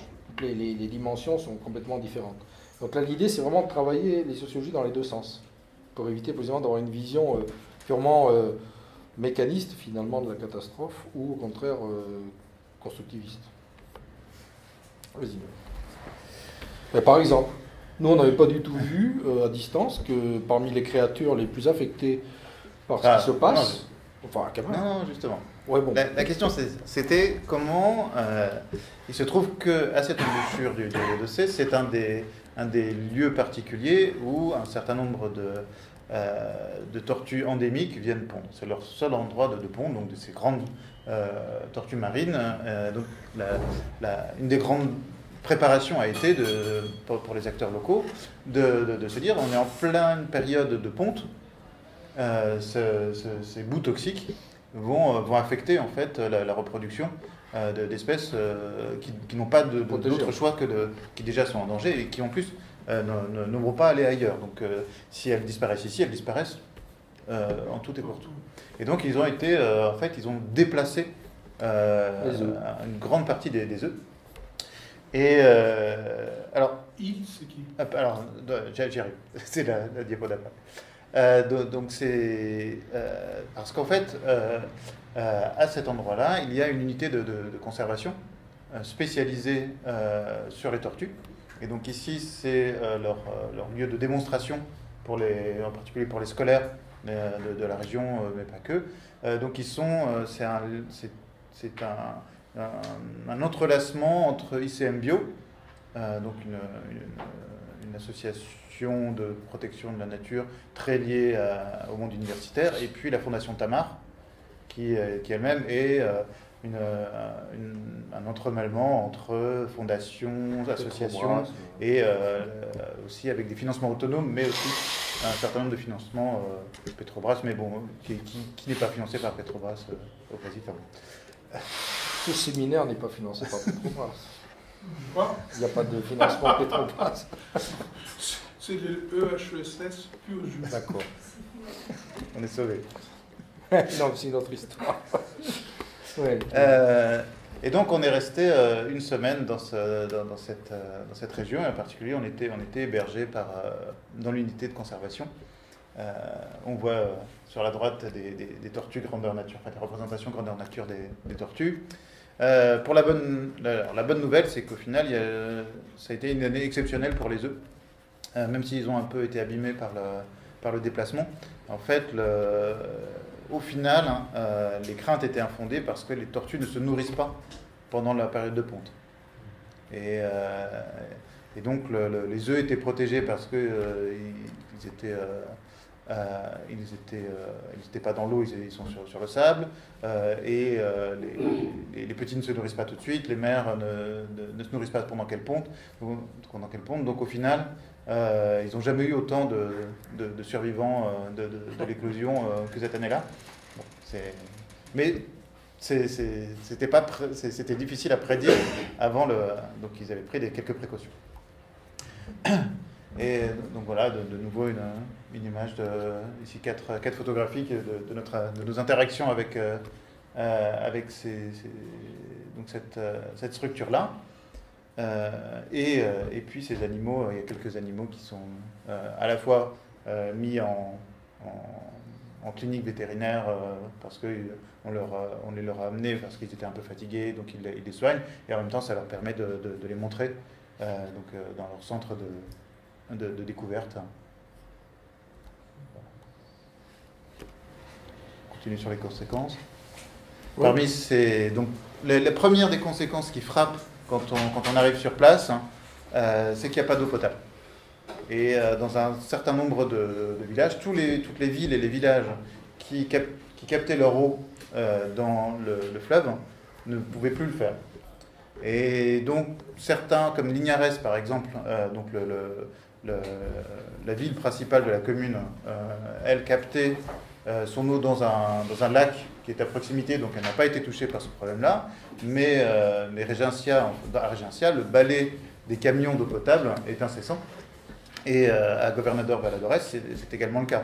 Donc là, on est dans une ville de près d'un million d'habitants, donc c'est pas juste un petit village. Et, et, de distribuer par camion de l'eau potable pendant des mois, voire des années, à toute une, à une ville de, de, de, grande, de grande, taille, c'est quelque chose qui demande euh, une, sacrée organisation. Et au départ, d'ailleurs, l'organisation a, été, euh, a, été beaucoup basée sur la solidarité, euh, plus que sur une réelle intervention de l'État ou du moins quelque chose. Il y a eu des débuts d'émeutes de l'eau, mais avec des files d'attente incroyables, donc des gens en colère. Ça a failli mal tourner. Il y a, il y a eu deux, trois jours de, de, de risque de, de, basculement dans, dans, la violence. Sur Osphosise, non mmh. Des films Osphosise, non mmh. Les films de Wigger sur le nord-est Osphosise, non C'était un peu ça aussi. Osphosise ouais. C'était des émeutes d'eau. Et là, c'est la sécheresse. Ouais, c'est la sécheresse. Ouais. Oui, c'est là, oui. Euh, L'autre conséquence, elle est, euh, donc là, elle est, elle est attendue, c'est celle c'est de son impact sur euh, le milieu, le milieu, l'environnement, le milieu euh, végétal et, animal, l'accumulation de ces, métaux dans, l'environnement, dans l'écosystème euh, et dans les, éléments qui le, peuplent. Euh, donc, afin de mesurer ce, euh, cet impact-là, durant ces 15 jours de, de, de déplacement de, de, la boue, les, des associations de protection de l'environnement sont venues faire des prélèvements pour avoir un état antérieur de manière à essayer de, de, de voir, enfin de, de, mesurer au mieux l'impact et l'évolution de l'impact euh, de la contamination, euh, en particulier chimique. Euh, une des caractéristiques des, catastrophes petites et grandes, c'est de révéler les trous de savoir ou les répertoires de connaissances que les acteurs ont à disposition. Et très souvent, en fait, la catastrophe est à la fois réactive des, des savoirs qui étaient totalement négligés ou sur les bords, euh, moi j'ai plein d'exemples, mais euh, voilà, des savoirs naturalistes par exemple, sur telle plante rare ou sur telle espèce animale qui intéresse personne à part trois personnes. Et tout d'un coup, la catastrophe en fait donne à, ces entités euh, une nouvelle, une nouvelle euh, pertinence parce que les savoirs sur ces entités sont des, des, des indicateurs, des témoins sur un, un, écosystème plus vaste et qui va être effectivement affecté, donc comme la grenouille d'une certaine manière qui ne supporte pas la toxicité et qui révèle en fait comment tout un écosystème va devoir digérer et gérer en fait une pollution. Là, on va avoir toute la, question de savoir qui sait quoi, euh, où en est la recherche, que, disent les universitaires, euh, quelle est l'expertise et comment elle est distribuée. Comment elle est distribuée chez les euh, acteurs publics, chez les, dans les entreprises, dans les universités, chez les associations, euh, y compris parfois chez les riverains ou les, villageois, qui peuvent avoir une connaissance pratique hein, des, milieux, comme les pêcheurs en particulier de, des poissons. Et c'était d'autant plus important que le, le fleuve en lui-même était déjà dans un très mauvais état euh, écologique et hydrique. Euh, et donc, euh, même si c'est le cinquième fleuve de, du Brésil, hein, son débit avait, déjà, largement diminué par rapport à ce qu'il devrait être. Hein. Et donc, plus le débit est faible, moins il a de possibilités de, de chasser la boue contaminante en dehors de, de, son cours. Enfin, il a de, le chasser en fait dans, dans l'Atlantique. Chose. Là, il y a une façon de regarder tout ce qui se passe avec la boue et les effets produits par la boue. Oui. Et les gens qui étaient là, il y a eu euh, un déplacement. À Fukushima, il y a le fait de- d'essayer de faire partir les gens et de Mmh. prendre en charge ailleurs. Est-ce qu'il y a euh, une indépendance de deux phénomènes ou euh, au contraire tout est, tout est resté euh, dans un même périmètre quoi. En fait, on, va, on va le montrer, c'est très structuré par le système de réparation qui a été mis en place hein, et qui, euh, qui veut traiter des, des- des objets sous, le, sous une seule structure, la Fondation Renova. Ah. Une, une des conséquences inattendues ici, c'est que cette, euh, cette boue ne, ne contamine pas seulement le fleuve, hein, mais avec les vents dominants, part vers le nord, part vers l'archipel des Abrolhos. Et, euh, va en fait détruire le corail hein, euh, de, l'archipel. Euh, donc là, c'est des photos de, l'IBAMA ICMBio, donc de ce consortium qui essaie de mesurer les conséquences de, la catastrophe et qui va s'opposer en fait à la Samarco, qui dit effectivement il y, a des, il qui arrivent sur les Abrolhos, mais ça vient pas de chez nous. Et donc eux essaient de prouver par satellite le déplacement de, la boue et euh, euh, la Samarco va faire des prélèvements sur place pour dire regardez en fait c'est pas la même signature chimique donc les biologistes sont obligés aussi d'aller faire des prélèvements dans les Abrolhos pour euh, dire si si euh, regardez c'est en train d'arriver c'est en train de, tuer le corail etc. Juste un, point parce que ta question est, très importante. C'est un peu la question des gilets jaunes. C'est la question de l'équilibre entre le social et l'écologique. C'est-à-dire qu'aujourd'hui, les scientifiques qui développent des outils de traçabilité, de monitoring, d'objectivation des phénomènes euh, de ce type sont extrêmement outillés, alors que les sciences sociales le sont beaucoup moins, comme on sait, etc. Et que du coup, euh, les premières choses qui émergent, en fait, ce sont des vues satellites, des, des propriétés euh, environnementales, écologiques, et la question des populations va apparaître à chaque fois bah, avec des, des spécificités locales, et il va, va se poser la question du porte-parole, enfin, de qui peut parler au nom d'eux, avec quel outil. Et ça, c'est très intéressant parce que justement, les deux villages de pêcheurs vont d'une certaine manière bifurquer. Vont pas avoir du tout la même attitude, on va le voir rapidement, mais. Et, du coup, il n'y a pas le même type d'unité. Autant là, il va y avoir un consensus plus rapide, puisque au fond, les coraux, bon voilà, il n'y a pas besoin de Bruno Latour pour dire qu'ils vont s'exprimer à leur manière et qu'ils vont rentrer dans, la, dans, la- dans- le processus. Mais, euh, parce que justement, il y a tout, l'appareillage qui les accompagne et qui les rend visibles et manifestes. Alors que les populations, ben, ça, va, il va y avoir des options qui vont être complètement contraires. Et là, il met une différence d'agentivité justement entre les, collectifs humains et, les, les- les ensembles de choses. Et c'est la manière dont ça s'agence ou non qui va, faire qu'il va y avoir des, traitements euh, différents. Et, donc, si, euh, si des objets comme, euh, le satellite ou la, connaissance biologique sur les coraux sont con- constitués depuis, voilà, de- depuis un, certain temps, les, outils effectivement sociaux sont, mettent un peu plus de temps à, à arriver, mais, mais ils y arrivent. Et donc ici, par exemple, un livre a été... C'est un, un livre sur le... Sur le Nicamp, euh, voilà, de, de, de Nicamp sur le, qui, euh, qui va donc exprimer, en fait, là, au contraire, euh, les, les conséquences sociales. hein. Euh, mais voilà, ça, les, les outils euh, mettent, mettent un peu plus de temps à, arriver. C'est c'est parole et silence, en fait, c'est Voilà. tout de suite ambivalent. C'est-à-dire qu'il y, y a à la fois des, des témoignages, des prises de parole, et en même temps, il y a tout ce qui est caché, tout ce qui n'est pas dit. euh. Ouais. Donc, il y a toujours cette ambivalence que les sciences sociales mettent en avant. Et, Euh, ouais. et c'est vrai que euh, si prendre une photo satellite immédiatement reste, enfin de, et les, semble légitime, euh, le fait de, de- de dire voilà, un livre, jaune, un livre vient de paraître sur les gi- gilets jaunes en France. Et c'est vrai, Euh, alors que le, le mouvement est, est à peine naissant. Euh, donc, enfin, la- la- la- ici, la rapidité d'apparition d'un outil de, de sciences sociales euh, ne sont, enfin, pose question quant à sa légitimité. Euh, et donc là, le- le- ici, euh, on est en quelle année? C'est un an. 2017. C'est 2017, je crois. On doit être de- en octobre 2017. Donc là, deux ans, en fait, c'est un temps qui est plus légitime, en tout cas construit comme plus légitime hein, dans le, dans le domaine des- de, la- l'analyse sociale en fait des, des conséquences. Il y a un autre, euh, dans le point de vue des savoirs et compagnie, il y a tout aussi la question de l'épidémiologie. Parce qu'au moment de l'épidémie de fièvre jaune au Brésil, euh, l'affaire de, de, Mariana est revenue dans, la, place publique avec des chercheurs des Fiocruz qui disaient bon, l'épidémie est aussi le résultat de l'extinction de, de, populations euh, animales de, la région. Oui, et puis des réserves d'eau aussi. Enfin, L'épidémiologie en tant que science étant aussi à la, confrontation à la fois des sciences naturelles et des sciences sociales, en quelque sorte. Tout à fait. Du coup, donc c'est une question, une question en fait que j'ai, c'est par rapport aux autres catastrophes que vous, analysez. Si c'est aussi euh, l'épidémiologie rentre comme un, élément. Bah, ça dépend. Si le, le, là, l'angle, c'est vraiment le, milieu fluvial qui va vers le milieu marin, qui va, qui va configurer en fait l'attention des acteurs.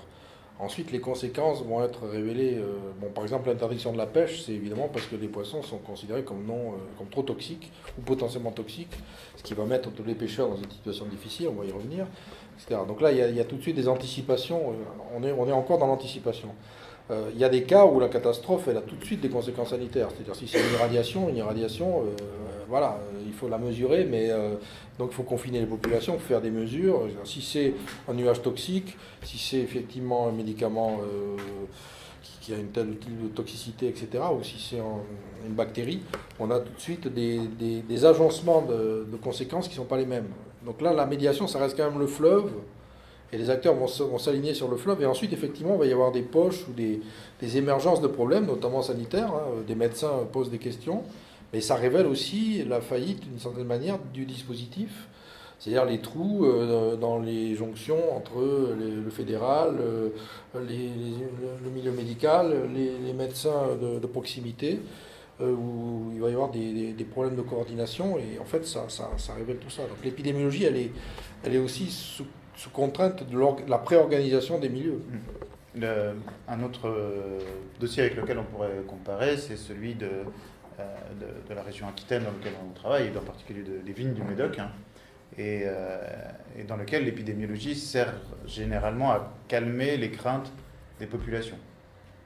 Et quand il y a un peu trop de, de cancer infantile, on amène en fait des épidémiologistes qui disent bah, non, par rapport au hasard, il n'y a pas assez de cas, on ne peut pas dire. Euh, et euh, le problème est que de plus en voilà, ça, arrive de, un petit peu plus souvent qu'avant, euh, où les épidémiologistes arrivent en disant ah bah oui, finalement bah, vous avez un cas en plus, donc statistiquement vous êtes plus touché par des cas de, cancer infantile.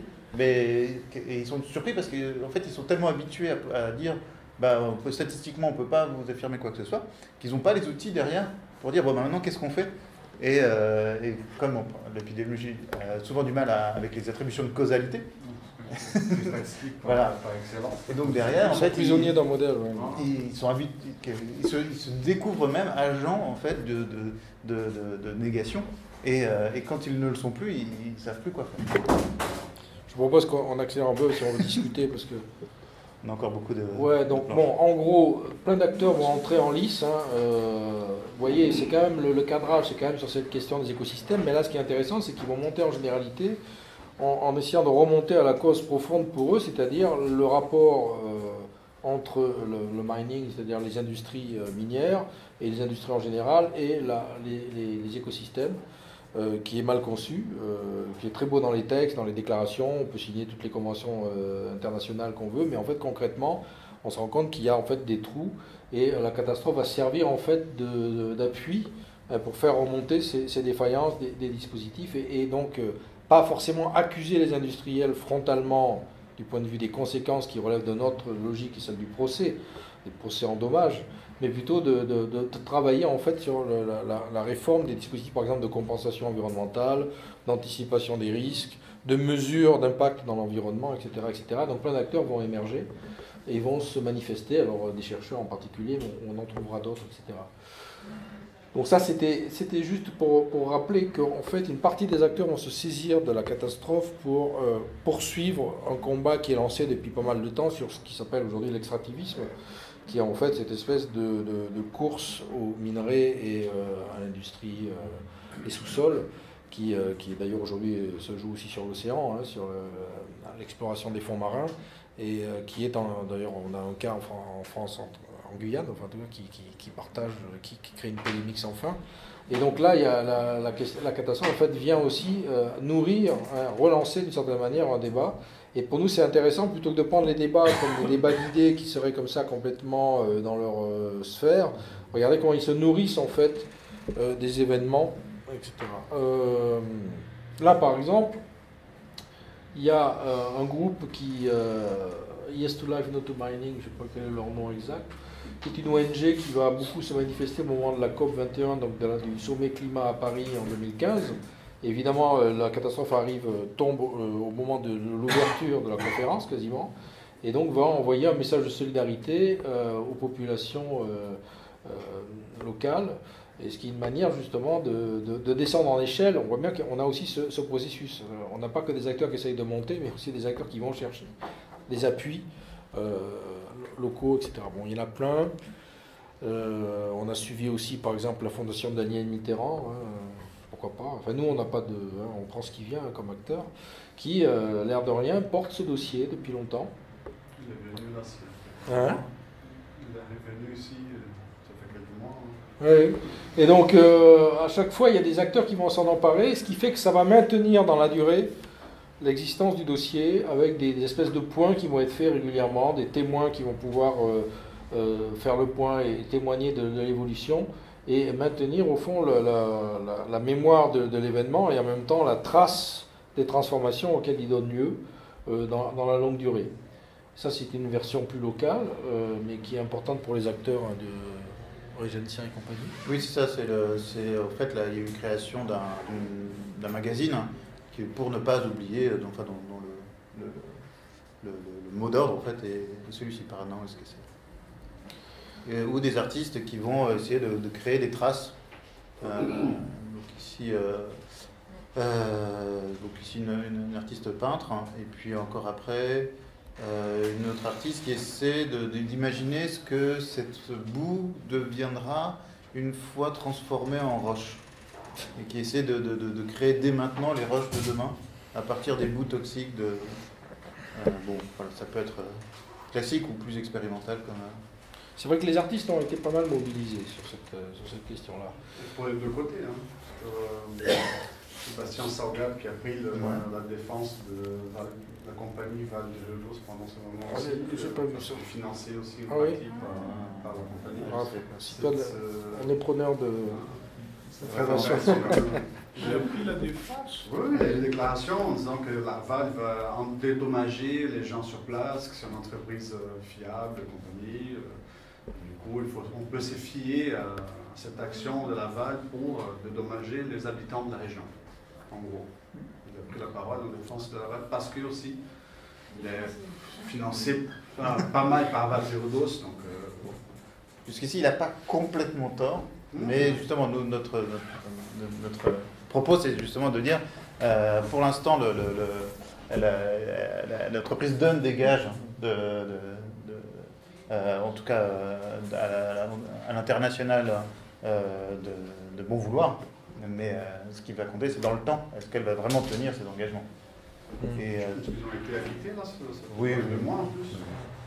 Et donc voilà, donc il n'y a pas que des artistes qui sont créatifs, il y a aussi les, euh, les moyens de, de lutte locale pour. euh, donc en reprenant des masques. de Là, on retrouve, cinéma. on croise la sociologie des mobilisations, évidemment. hein. C'est-à-dire qu'on regarde comment s'organisent des collectifs qui vont euh, faire des performances, euh, marquer euh, la présence de, de la catastrophe dans la durée et, et- et évidemment construire le, le procès euh, et désigner l'ennemi commun.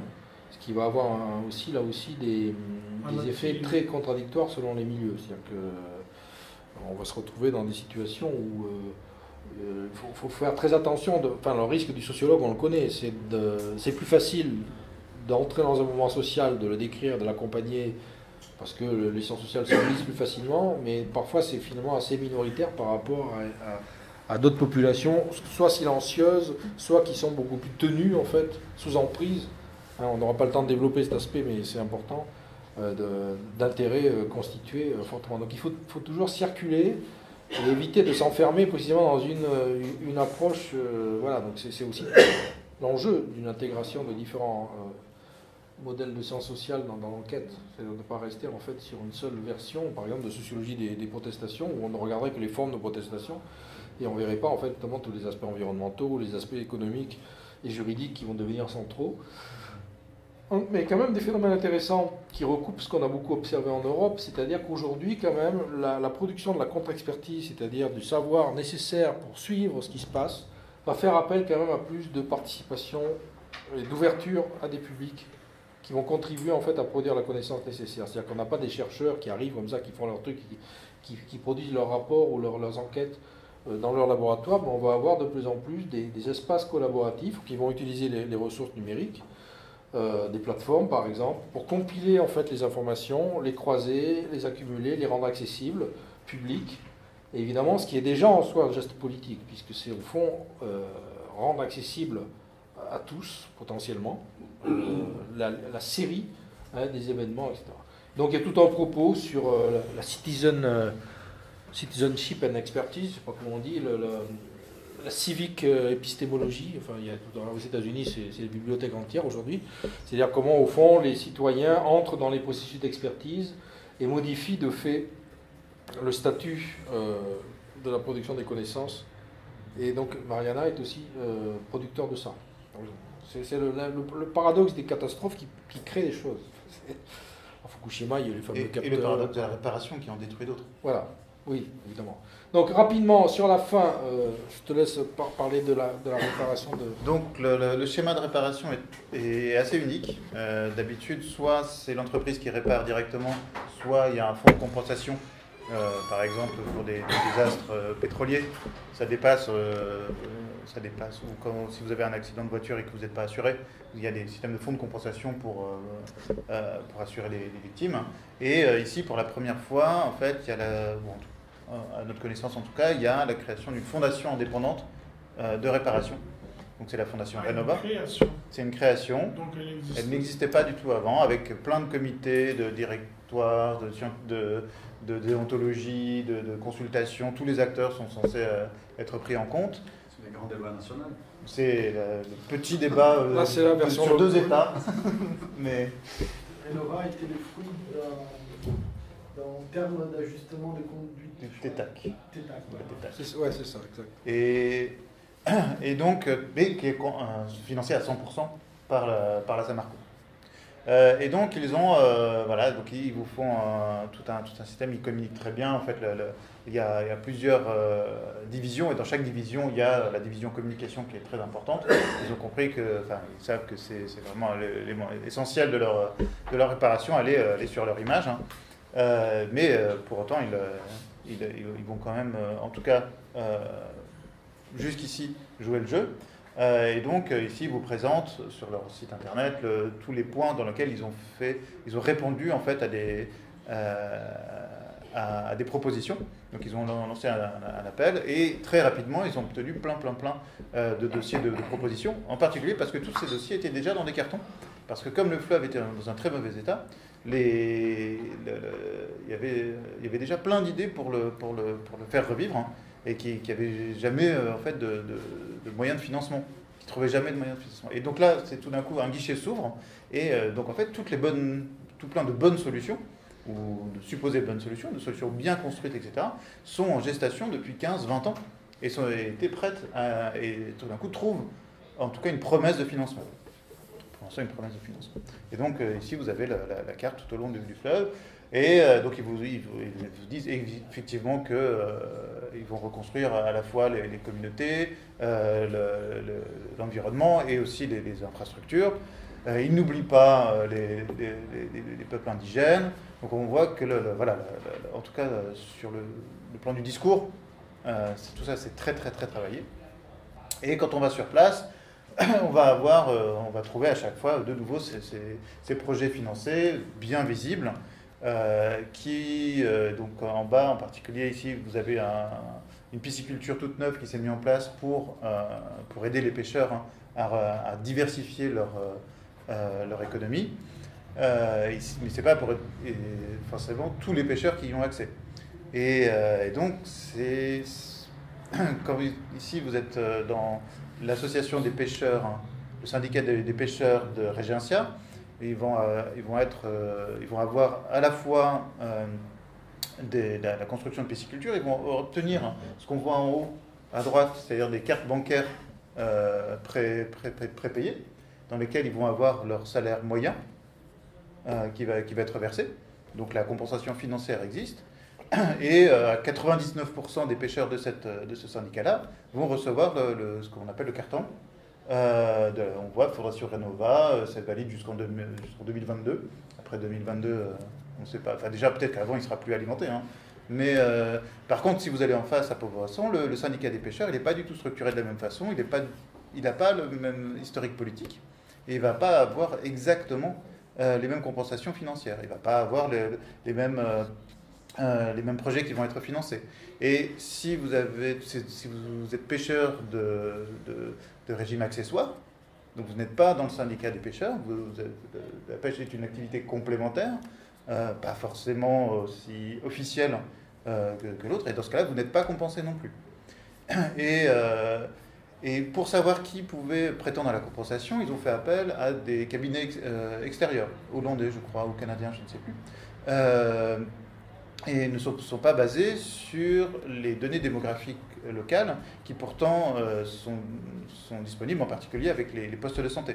Donc elles existent, mais ils ont, ils ont, ils ont choisi en fait d'avoir un, un, opérateur euh, euh, non national extérieur qui, qui, va en fait être le, faire l'entregent entre ce qui va avoir le, la compensation financière qu'il n'a pas euh, et donc, il va y avoir aussi des, euh, des, tensions sociales qui vont se créer en fait à partir même de cette réparation, par, savoir qui l'a, qui ne l'a pas. Est-ce que tout ce... Et puis euh, aussi parce que certains...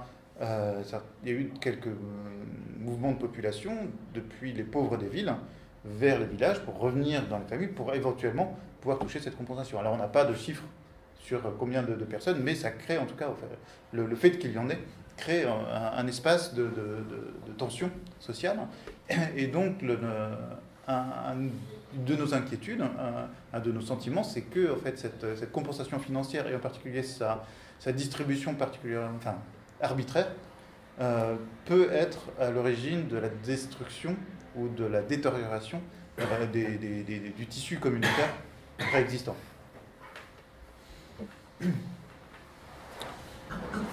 Bon, ça c'est juste pour... Euh, Donc euh, parmi les, légitimateurs hein, de, la Fondation, ici on a euh, l'ancienne présidente de, de, l'UICN et du WWF, qui a été ministre de l'Environnement de l'Équateur.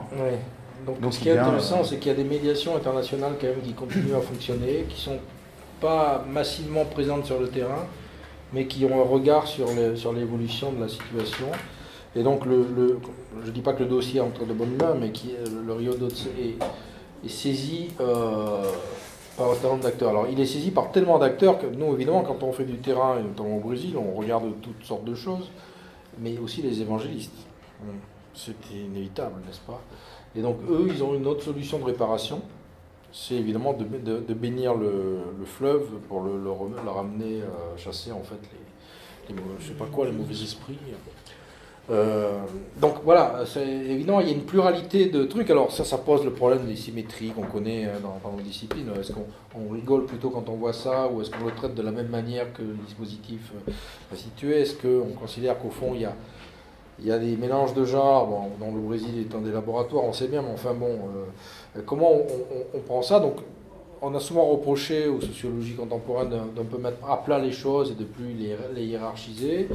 Euh, ça pose en tout cas dans, le processus d'enquête, ça pose vraiment la question des chemins qu'on prend et, de ceux qu'on finalement qu'on laisse à la marge. Mais nous on les prend et on dit bon, mais ça ça existe. Après. Euh, on ne sait pas forcément, nous, quelle place donner à ce genre d'opération, mais c'est présent. Et ça peut avoir un impact sur le, processus de transformation. Voilà, c'est pour ça qu'il y a une indétermination assez forte dans notre approche.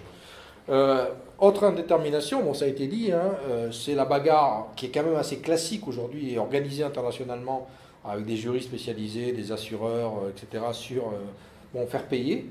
Donc, combien si c'est combien Donc la, première question c'était combien Comment on chiffre le, dommage Et ensuite, ben, la, la procédure qui permet effectivement d'aller jusqu'au bout ou pas. Et qui va en Et, personne.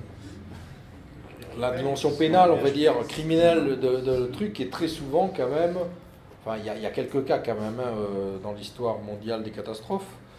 Il y en a eu plusieurs. Il y a eu Bhopal, il y a eu euh, l'amiante, il y a eu euh, un certain nombre de choses. Mais il y a eu Monsanto récemment hein, qui, a, été condamné aux États-Unis. Mais c'est vrai que globalement, la tendance est quand même à chaque fois à esquiver la responsabilité pénale des entreprises qui s'en sortent toujours en, créant une chaîne d'intermédiaires, en ayant euh, une, une- de- de- des armées d'avocats. euh, donc là, on a tout un autre monde qui est celui de, la judiciarisation de la catastrophe, qui en soi est un, est un univers euh, voilà, chronophage pour le chercheur aussi. hein. Je sais que Nicolas Doudier adore ça, il est rentré dedans, il n'en sort plus.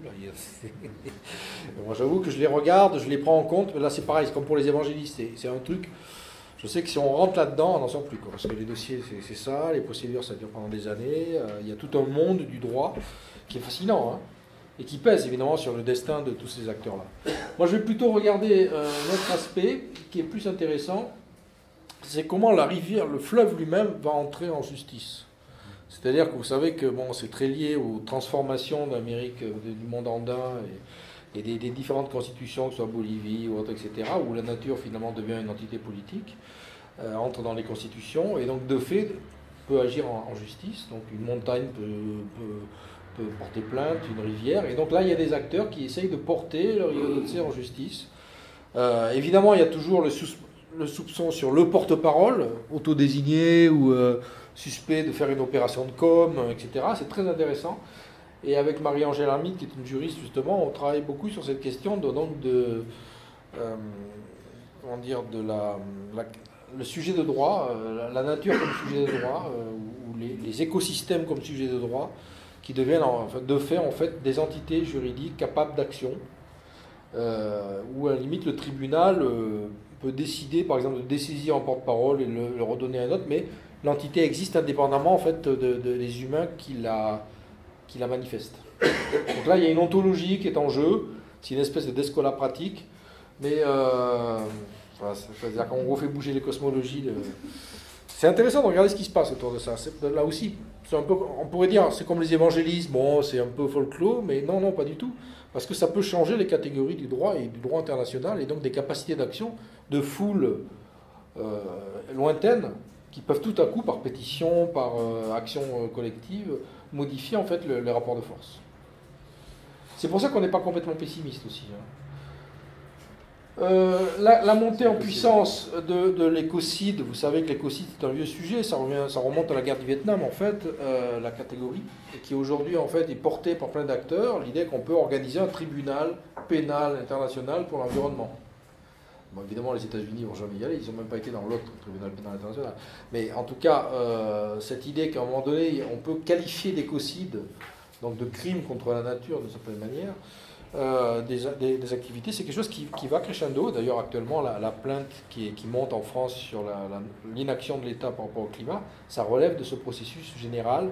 Et donc, le Rio Doce est embarqué aussi dans ce processus de constitution d'un nouvel droit international qui peut changer en fait le rapport et les rapports de force. Alors, je finis vraiment rapidement parce qu'on veut discuter un peu.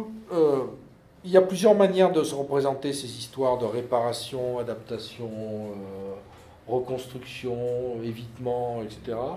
Ça, c'est une version euh, qu'on aime bien parce qu'on travaille beaucoup avec l'Agence européenne de l'environnement, qui est un peu, si, un peu trop systématisée. On peut innover, hein, on, voilà, on profite de la catastrophe pour innover.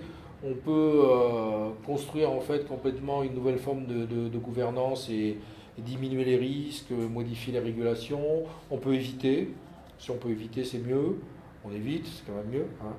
Euh, on peut s'adapter, c'est-à-dire qu'on peut préparer les acteurs à, changer leur mode de vie. Euh, voilà, euh, etc. Et donc il y a toute une, une littérature, etc. Nous, on va préférer en fait une littérature plus anthropologique, en particulier ce qui aujourd'hui a un succès euh, presque euh, anormal. Donc c'est toujours mauvais signe parce que moi je lisais Anna Tsing il y a déjà une dizaine d'années, une douzaine d'années. Elle avait fait un très beau livre qui s'appelait Friction, An Ethnography of Global Connections, qui était un très beau livre d'ethnographie sur la forêt indonésienne et les bagarres entre les acteurs sur, sur les usages de la forêt. Et là, maintenant, avec son champignon, là, c'est euh, natsing partout. euh, mais bon, elle a quand même une approche, justement, de dire que, attention, à, à chaque échelle se produisent des processus irréductibles et qu'on ne peut pas, à à partir d'un constat fait à une certaine échelle, par exemple, l'Europe va mal, descendre au village machin, et dire donc le village va mal, puisque l'Europe va mal. Donc en fait, elle montre qu'en fait, il y a plein de, résilience, de reconstruction, et notamment sur Champignon à la fin du monde, c'est ça, c'est-à-dire qu'au fond, après la catastrophe, il y a plein de formes de vie qui poussent. Donc on leur, on leur reprochait de faire le jeu du néolibéralisme, parce qu'au fond, vous détruisez tout, et puis c'est bon, ça va repousser. Alors, c'était pas le projet de son truc, hein, pas du tout. C'est d'éviter justement tout écraser sous une échelle, et du coup de paralyser des acteurs qui sont porteurs. Justement, on va en parler avec le convivialisme. Qui sont porteurs d'alternatives, qui sont porteurs de, de bifurcation, et qui prennent en charge finalement leur destin du fait de la catastrophe. Alors ça ne veut pas dire qu'il faut des catastrophes, enfin voilà, c'est compliqué, euh, il y a toujours le paradoxe philosophique, mais nous en, en sciences sociales, on voit bien que de fait ça produit des choses, et il faut les prendre en compte, et donc accepter aussi une certaine contingence, parce que là ça se produit, là ça se produit pas, et il n'y a pas forcément de détermination sociale euh, visible. Euh, pourquoi tel instituteur à un endroit il se met à militer à la France euh, insoumise et qui va réunir des gens autour de lui alors que le village à côté, le gars il est tout à fait à gauche, etc., mais ça n'intéresse pas de communiquer avec les autres. Et, on peut toujours chercher des propriétés secondaires cachées, etc. Il y a de la contingence, quoi. ça c'est évident. Et ça produit des effets sur des micro-mondes qui peuvent s'assembler, se désassembler, euh, générer des, euh, des, des solutions. Donc nous on travaille vraiment on s'arrête sur ce, truc qui est un peu l'état pour l'instant euh, provisoire de nos réflexions. On a six sociologies embarquées dans ce qu'on fait. On est bien avec ces six sociologies, on est content. Je sais bien qu'il Frédéric va en rajouter plein d'autres, mais parce que ça forme un, un- un- un système, euh, un socio-système, un écosystème euh, qui, marche assez bien. C'est-à-dire qu'au fond, tant qu'il y a des, circulations entre ces différentes sphères, ça peut, on peut s'en sortir. En gros, il y, a, il y qu'on arrive toujours à, relancer quelque chose, à, déplacer un, problème, à réouvrir une, question, à, faire bouger et à sauver ce qu'on peut appeler la démocratie pour aller vite. C'est-à-dire qu'au fond, il y aura toujours des discours dominants. euh, ce qui compte, c'est quand même qu'il y ait des contre-discours. Euh, le jour où il n'y a plus de contre-discours, effectivement, où ça circule plus entre les deux, ben là, il se passe quelque chose. Des dispositifs de régulation, d'évaluation, il, euh, il y en a. C'est un peu la bureaucratisation du monde, hein, des normes, des règles, des conventions, des accords, etc. Nous, on pense que ça ne peut pas se réduire à ça, parce que si on réduit le- les solutions à des solutions formelles et procédurales, on peut rendre des acteurs fous. hein. Moi, mon modèle, c'est le labyrinthe de Kafka. C'est un peu labyrinthique, hein, on a fait exprès de mettre un truc comme ça. Vous rentrez dans une procédure, vous n'en sortez plus, parce qu'il faut réfléchir aux conditions dans lesquelles votre comité est compétent pour parler de tel truc, et des règles par lesquelles le vote du comité va pouvoir être pris en compte par le président du comité, surtout s'il démissionne, etc. On est fou. Vous mettez la commission nationale de débat public pour organiser le grand débat national, et pof, clash, premier truc, parce que qui organise la procédure de la procédure de la procédure Enfin, Des milieux sous contrôle, ça existe, et Samarco fait partie des entités qui a une forte emprise sur tout un monde. Alors, elle ne contrôlait pas tout le fleuve, et c'est bien pour ça que c'est intéressant dans ce- cas-là, c'est qu'il y a des rébellions qui sont liées aussi à des rapports plus distendus aux intérêts économiques de telle ou telle firme. Euh, des milieux hétérogènes qui entrent en interaction, qui n'étaient pas forcément euh, programmés pour se rencontrer.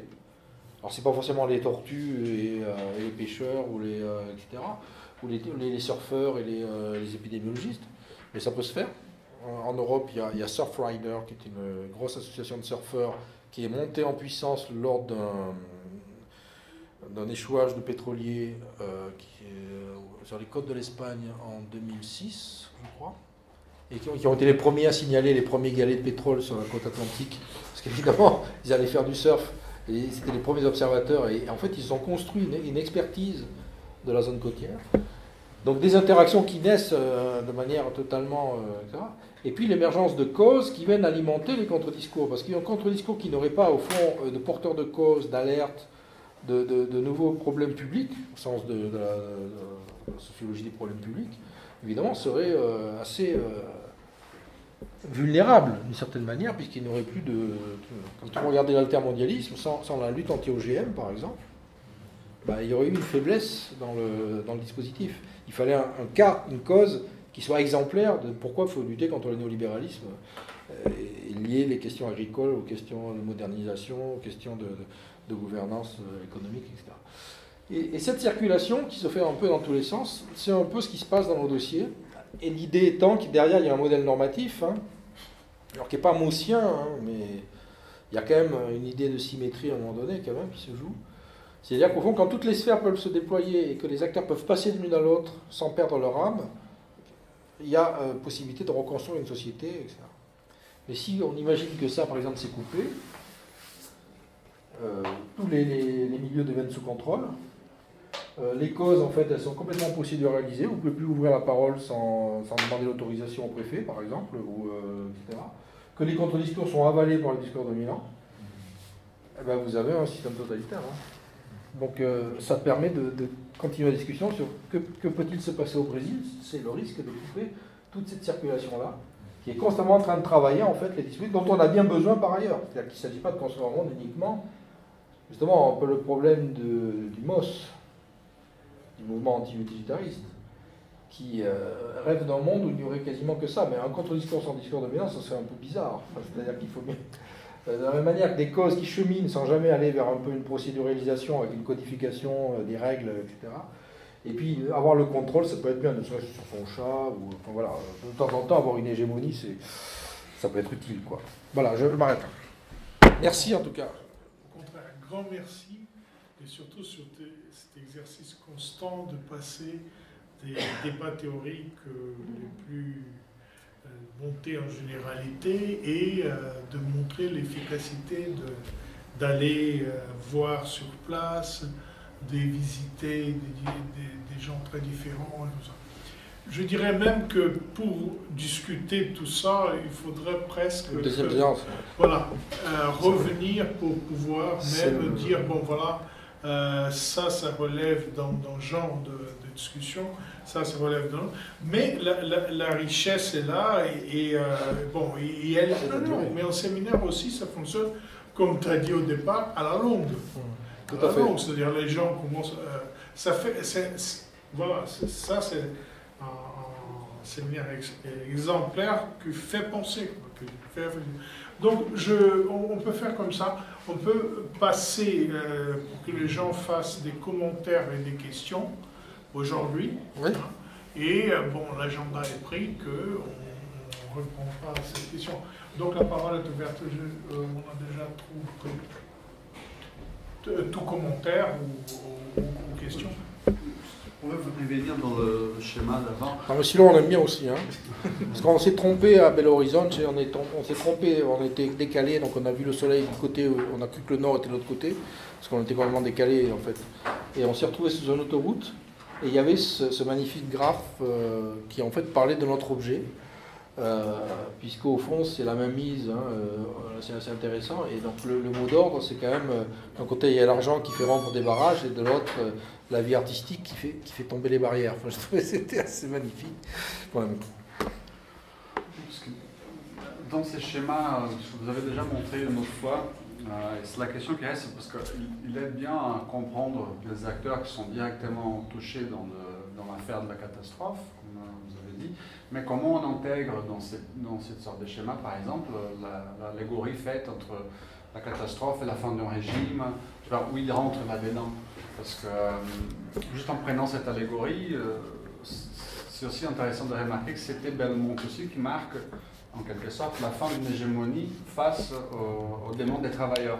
Parce que la grève de Belmont et Gillard, c'était quelque chose qui marque la fin de la capacité du parti qui était au gouvernement de contrôler les conflits au sein du monde du travail. C'est ça.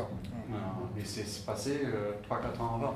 Donc comment intégrer des acteurs qui ne sont pas directement liés à ces jeux et comprendre ce type d'allégorie Alors, le problème, c'est que. Vas-y. On fait le tour et. Ah, parce que je risque d'oublier après. Mais... Non, non, d'accord. Tu n'oublieras pas. Vas-y, Frédéric. Toujours admiratif de la créativité. Mmh. Le dispositif théorique, il est, il est moins, il fonctionne bien. C'est d'ailleurs pas un dispositif, c'est plutôt un montage qui me plaît.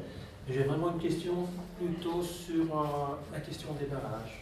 C'est-à-dire, intéressant parce que, disons, dans, tous les affaires de TV, là, on descend, on, regarde, et ça fonctionne effectivement assez, bien. La question des barrages, c'est plutôt une question, disons, un peu, technique, parce que le premier slide montrait qu'il y avait d'autres barrages. Moi, je connais un peu la situation des, barrages en Inde, où le mouvement contre les barrages est excessif est fort.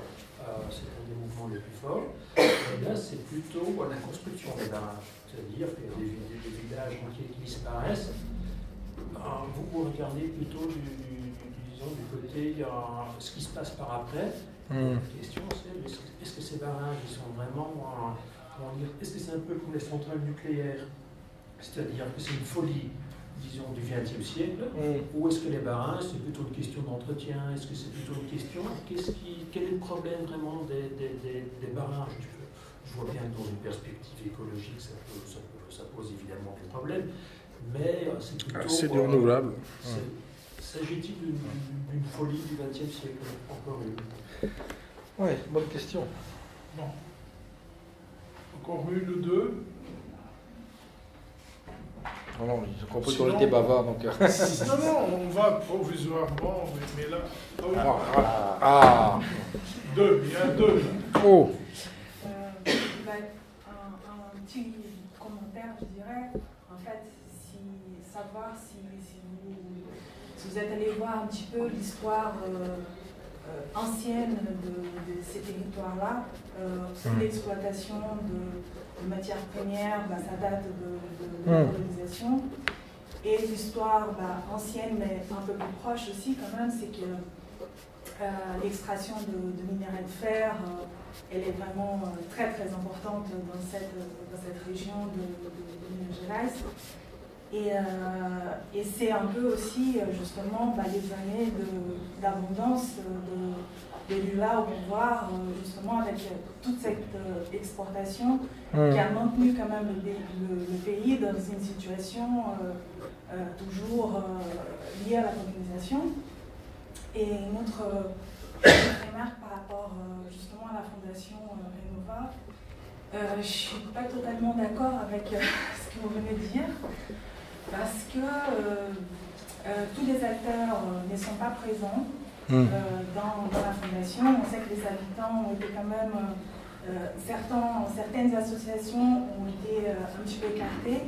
je ne sais pas comment on peut dire, par exemple, une fondation qui est entièrement maintenue par l'entreprise qui a causé la, pollution, hmm. les processus de compensation, on pourrait vraiment poser beaucoup de questions par rapport aux, aux critères et au barème, en fait, euh, bah, qu'est-ce qu'on met en valeur, qu'est-ce qu'on, comment on va chiffrer euh, bah, des choses qui ne sont pas de la marchandise. Donc on hmm. va réifier vraiment des choses bah, qui c'est, pas de la marchandise en fait.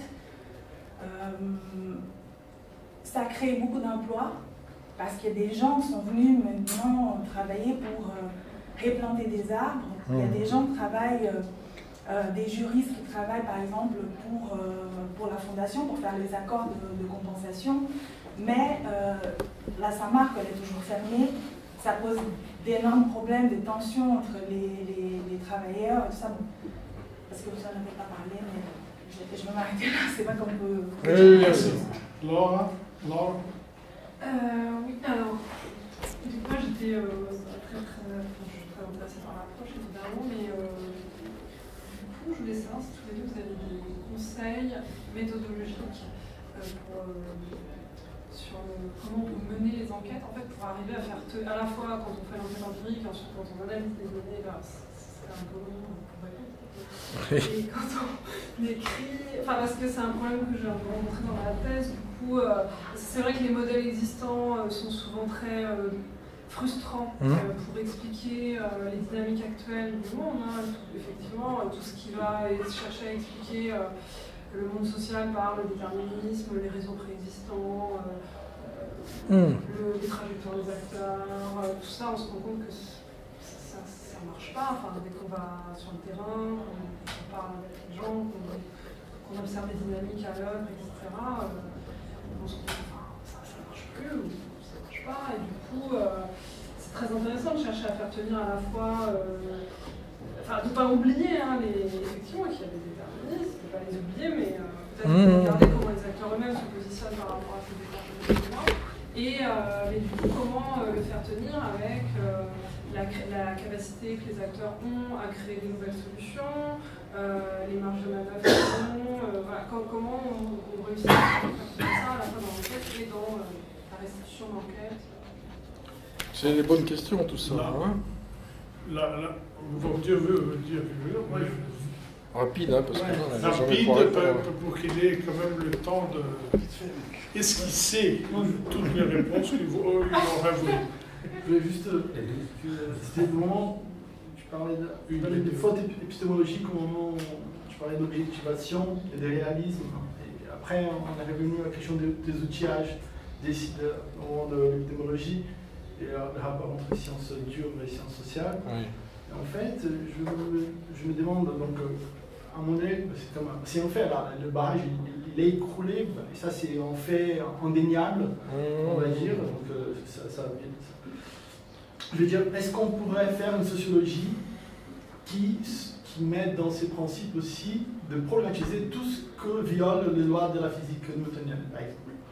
Est-ce que, ça, est que ça fait une, sociologie, une sociologie qui problématise, par exemple, qui, qui fait par exemple, problématiser tous les aspects qui, de représentation des acteurs qui violent la physique newtonienne, par exemple Et est-ce que c'est possible de penser quelque chose comme ça ou c'est une folie face à Trump et Bolsonaro, c'est compliqué quand même. Oui, oui, je Non, mais c'est intéressant la question. Non, mais je la comprends, mais oui. Euh, ce qu'il faut savoir, c'est par exemple que beaucoup de gens qui étaient dans une approche constructivisme du climat, etc., quand ils ont vu arriver les climato-sceptiques, ils ont changé, y compris Benoît Latour il a changé radicalement de position en disant non, non, le climat, euh, c'est de la science et, et là, il n'y a pas à discuter euh, de dire que c'est une fabrication, etc. Donc, la question, c'est dans quel contexte, en fait, on est amené à porter un énoncé scientifique? Bon, déjà, il faut recontextualiser les moments d'épreuve où on a besoin en d'un appui tangible. On travaille beaucoup sur la tangibilité. Et je crois qu'on peut créer notre propre langage en sens social pour décrire ces phénomènes, mais après, sur la description technique de ce qui se passe, il faut faire attention à ne pas transformer en représentation en croyance, ce qui, pour les acteurs, relève quand même de savoir euh, technique, matériel, dont ils font, eux, pour eux, ils font la preuve tous les jours. On va dire qu'un agriculteur, euh, si nous on a essayé de faire des greffons de vignes, euh, le mec dit non, c'est comme ça, quoi. Il y a un savoir-faire et voilà. Donc il y a, des, réalités dire, qui s'imposent à un moment donné à, la, description de terrain. avec laquelle on ne peut pas. Euh, c'est vrai que l'anthropologie a beaucoup joué du, symbolique, etc., qui existe. donc, en fait, le dilemme, il, il se dissout dès qu'on voit au contact des pratiques et qu'on accompagne les acteurs dans leur pratique et on se rend compte en fait de, ce que c'est, y compris lancer une grenade GL, je sais plus combien là. Si on fait l'exercice que Jobard a essayé de faire, le sociologue de la police, d'être du côté des flics d'une certaine manière dans sa description, de dire ben voilà, c'est des professionnels, comment ils s'y prennent, leurs contraintes, machin, ça en, levant toute. Euh, bon, après coup, il va le retrouver la critique, mais dans un premier temps, le, le réalisme de la description est, est quelque chose qu'on doit pouvoir partager avec les acteurs, c'est ça que je veux dire, que ce soit des scientifiques ou pas. Donc ça dépasse même la question des lois de la physique ou euh, de la chimie et de la biologie. Hein. C'est plus les niveaux de réalité dont on a besoin pour, pour, asseoir une description et pour après prolonger. Voilà. Mais bon, rien que cette question-là, ça va être trois heures de réponse. Juste pour commencer, pour répondre à la, fondation Renova, on n'a pas assez insisté sur, sur tout ce qu'on a décrit de la fondation Renova, c'est euh, bien l'œuvre de communication de la Fondation Renova. On ne prend pas pour argent comptant le, le, descriptif qu'elle donne, et au contraire, on, on n'a pas assez fait d'enquête encore, mais c'est vrai que j'ai trouvé que la critique était plutôt une critique rentrée, c'est-à-dire que les gens faisaient à demi-mot dans les entretiens, etc. C'est pas une, critique publique ouverte avec une vraie, vraie confrontation, parce que justement, il y a, y a, y a un espace politique à créer qui n'est pas... Un. La population, c'est déjà différent. Et si on va plus dans, dans le nord de, du Spirito Santo, on va, on va avoir vraiment là des, mouvements beaucoup plus forts. Ou à à un autre moment, on a, on a, on a des mouvements plus forts. Donc ça, Mais toutes ces tensions, de, ces tensions sont hein. omniprésentes dans toutes les catastrophes. Vous imaginez bien que les travailleurs du nucléaire, après Fukushima, ils sont pris dans des tensions impossibles, parce que c'est quand même leur gagne-pain. Euh, ils ont de toute façon été affectés par ce qu'ils ont fait. Euh, enfin bref, il y a tout un enjeu euh, à chaque fois de redistribution. Et, il y a, euh, notre collègue là, euh, Jobin, qui, travaille beaucoup sur les conséquences de Fukushima et qui va en justice, qui n'y va pas. Enfin, il y, a, énormément de, de, processus qui s'ouvrent dont c'est très difficile de... Parce que on peut, nous, en tant que citoyens, en tant que sociologues fatigués, dire ouais, c'est tous des enfoirés, ils ont essayé de mettre un machin pour calmer le jeu, etc. Et puis finalement réduire la description à une forme d'emprise avec des techniques d'influence, de, com, euh, du lobbying, etc. Sachant qu'il y a des intérêts locaux, euh, les élus, euh, les entreprises locales qui dépendent quand même du réseau économique, et que finalement ça va se réguler comme ça. C'est vrai que ça peut marcher, hein, vu de loin, mais dès qu'on se rapproche, on se rend compte qu'il y, a des processus beaucoup plus compliqués à l'œuvre, et que ça peut craquer beaucoup plus que ça. C'est-à-dire que les, acteurs ne sont pas figés dans leur rôle. Hein, on part de cette, de cette hypothèse de travail. Ça répond aussi en partie à la question de comment articuler. C'est-à-dire qu'en ayant en fait faire cet exercice d'indétermination relative maximale de ce qui importe dans un processus, on, se nourrit d'un tas, de choses, et effectivement ensuite le problème c'est de, restituer les moments euh, où les, configurations sont vraiment importantes. Mais euh, je, vais, les reprendre dans, l'ordre parce que bon, la question euh, fondamentale sur les barrages par exemple, Évidemment, euh, on travaille aussi sur l'amont. Avec euh, le séminaire qu'on fait avec Jean-Michel Fournier, c'est plutôt les débats en amont des infrastructures Notre-Dame-des-Landes. Ça aurait pu être un aéroport, ça n'est pas. Euh, le barrage de Sivin, c'est pas un barrage. Il y, a des conflits en amont sur l'opportunité, la, pertinence. Alors c'est vrai qu'il y a une histoire de ça, c'est-à-dire que dans les années 50, en gros la reconstruction hein, la Deuxième Guerre mondiale, on reconstruit et on ne discute pas trop avec la population quand même. Hein. Je veux dire, on a noyé des villages. Et on il y avait des dispositifs de gestion des cas, mais grosso modo, il n'y avait pas en plus une organisation euh, très structurée pour lutter contre ça. Il a fallu attendre énormément de temps, la décolonisation, euh, la montée de la critique des années 60-70 avec euh, voilà, une espèce de nouveau gauchisme culturel qui, voyait différemment les conflits. Par exemple, la lutte antinucléaire, qui a été un, des moments importants, pour que toutes ces, questions arrivent en amont. En Inde en particulier, c'est vrai que c'est aujourd'hui très sensible. Euh, mais c'est vrai dans, plein de pays.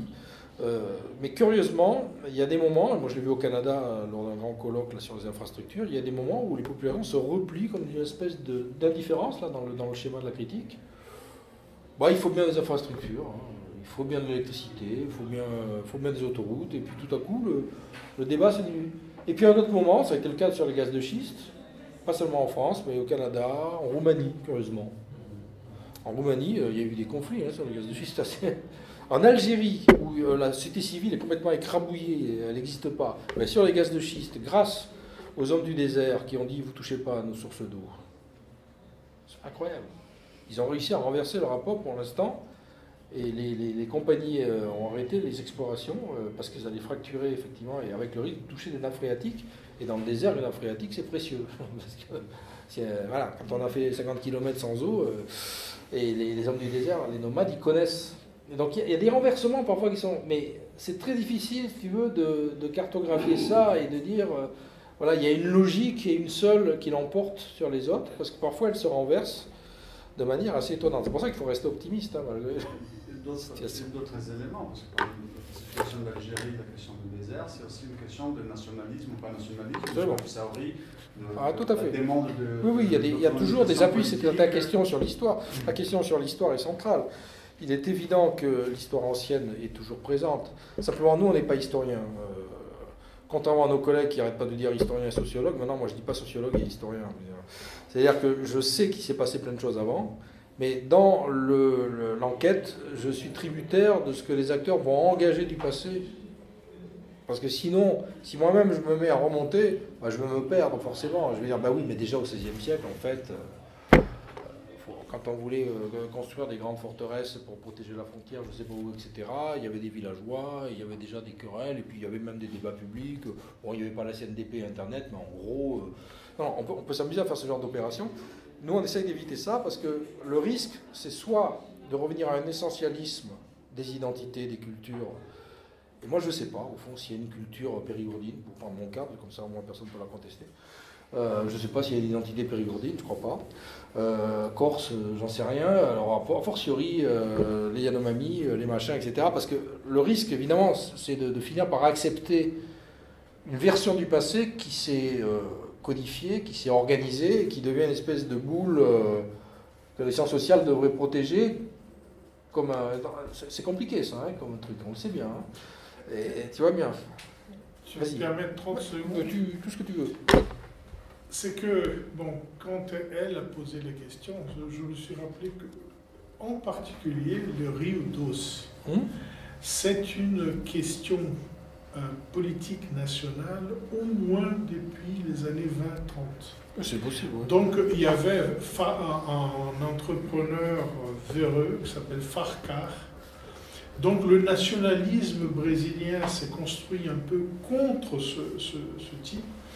Et alors là, Vargas, quand il rentre au pouvoir, prend des initiatives. et, et cette histoire lourde va peser au moment de privatisation. Parce qu'à un moment donné, mm. euh, c'est considéré que la privatisation était un cadeau mm. qui a été offert à des grandes fortunes. C'est juste ça pour dire que, que, que là, c'était pas un, fleuve sans, mm. disons, sans inertie et mémoire. Même si les acteurs, à ce moment-là, n'ont pas euh, mis ça. Mais, mais, je reconnais que c'est toujours le problème des limites d'où on fait les coupures de l'objet. Non, non, mais... Je, là, je, me retrouve aussi. C'est toujours en, je pense que... mais je n'ai pas aussi dans toute la démonstration, je n'ai pas senti ce manque. Non, non. Par contre, je, je, crois que là, d'attirer l'attention sur l'ensemble des, euh, des acteurs constitués historiquement, c'est vrai que dans ce cas-là, ça pesait. Il me semble que... Ça pèse toujours, on sait bien. Mais la question, c'est de ne pas fermer d'emblée la description en s'emportant soi-même sur la restitution de l'histoire sociale, dont on n'est jamais totalement sûr de la faire correctement, euh, qu'il n'y a pas justement des controverses sur euh, telle ou telle euh, version, parce que moi je fréquente beaucoup d'historiens, je vois comment ça marche. Hein. C'est-à-dire qu'en fait on rentre dans un, dans un, espace qui va nous éloigner de l'objet, au lieu de nous permettre d'ouvrir. Et en fait dans, dans, dans, l'enquête, le type d'enquête qu'on fait, il y a une ouverture, un, un pluralisme interprétatif. C'est-à-dire qu'on ne ferme jamais l'interprétation. Et on, est, on, est, on accueille énormément d'éléments venant de l'histoire, venant de l'anthropologie, de la science politique, de l'économie, tout ce que tu veux. Euh, quand les, je travaille avec des juristes, mais ils sont cassants, ils disent Vous n'avez rien compris au droit. Enfin, ça commence comme ça en général. Puis à la fin, c'est un peu plus mou, mais euh, au début, c'est euh, ils, nous, nous, rappellent que la, directive machin dit ça, que la Convention internationale sur la biodiversité c'est ça, que visiblement on n'a pas lu les textes. Bon, on est là, non, attendez, c'est pas notre boulot. Nous. On essaie de, saisir comment des acteurs s'emparent des trucs et, et font bouger. Mais bon, il y a plein de questions passionnantes. Euh, la question de, de l'articulation des enquêtes, quand même, euh, c'est vraiment une question euh, majeure pour nous. Alors, on en a fait un peu un, fonds de commerce au sens noble du terme. C'est-à-dire qu'on a créé un logiciel pour se doter quand même d'appui sur les séries documentaires à travers Prospero et compagnie, de façon à avoir toujours une mémoire externe dans laquelle on peut retravailler, reprendre par un autre bout, recoder autrement. Donc c'est un, univers assez incompréhensible pour les, méthodologues classiques, les quantitativistes notamment, parce qu'ils ne comprennent pas ce qu'on fait en fait. Euh, parce que pour eux, le logiciel est euh, quantitatif. Alors que nous, au contraire, c'est un, outil d'accompagnement de l'enquête, de support euh, sémantique et interprétatif de documents. Et ce qui fait qu'en fait, ça s'enrichit au fil du temps, là aussi. C'est pas je rentre mes données, j'ai un résultat. C'est quelque chose qui, est d'autant plus riche qu'on prend du temps à faire les corpus. Hein. Enfin, c'est pas facile. Mais bon, euh, c'est une, autre épistémologie, d'une certaine manière. Il y a ça, mais du coup, c'est une invitation à l'enquête de terrain en permanence et au changement d'échelle. C'est-à-dire qu'on se rend compte à travers ces corpus qu'il va falloir aller voir concrètement ce qui s'est passé à tel endroit, comprendre mieux qui est ce personnage, donc euh, pourquoi pas euh, toutes sortes de techniques qu'on connaît pour décrire des biographies, euh, etc., la prosopographie, tout ce qu'on veut, ou aller littéralement s'immerger dans des lieux. Et, ce qui nous a plu aussi dans cette expérience Rio c'est qu'on a été quand même sur le terrain, on y a passé du temps, bon, pas suffisamment bien sûr, pas comme des ethnologues, mais quand même, et on va y revenir, on, est en train d'organiser la visite là, fin septembre l'année prochaine, cette année, pardon. On l'a fait en Gironde pendant 4 ans. Euh, on l'a fait en Angleterre, autour de centrales nucléaires. On l'a fait dans des sites euh, en région parisienne parce que c'est plus facile. Donc l'idée, c'est aussi d'aller sur le terrain. Donc cette articulation, elle se construit aussi par une logique d'enquête qui, comment dire, qui ne, c'est peut-être ce qui me sépare avec Daniel, Daniel Cefaille et son, j'ai pas dire son église ethnographique. Venez dans mon, dans mon église présenter votre ethnographie. Je trouve qu'il y a trop de, de, mythification à un moment donné de, de l'ethnographie pour elle-même. Enfin, lui, à la limite, il, sortirait de ça facilement, mais moi j'ai connu les ethnométhodologues, des gens. Vraiment, euh, l'hyper-description, euh, ils n'en sortent plus. Quoi. Là, l'idée, c'est à quel moment j'ai besoin?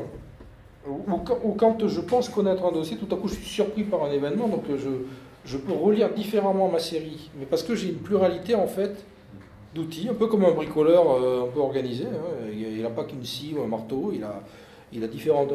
voilà, il y a, se construire un établi, sachant que justement les objets ne seront jamais exactement les mêmes qu'il faudra les attaquer à chaque fois en y mettant du temps, et, puis aussi pour en partager. Mm. Parce qu'un des, intérêts, c'est de se passer les, les, choses et de se passer la parole aussi, et d'arriver à circuler. C'est plus dur. C'est plus dur. Hein. non, mais quand même, on arrive à faire du collectif quand même. On n'est pas... Donc, euh, voilà, il y, a toutes ces dimensions qui sont à l'œuvre, et c'est l'enrichissement. Et je pense qu'à la limite, la leçon des sciences sociales, elle est moins dans ses productions. Euh, on ne produit pas effectivement des génomes, des machins, des trucs, etc.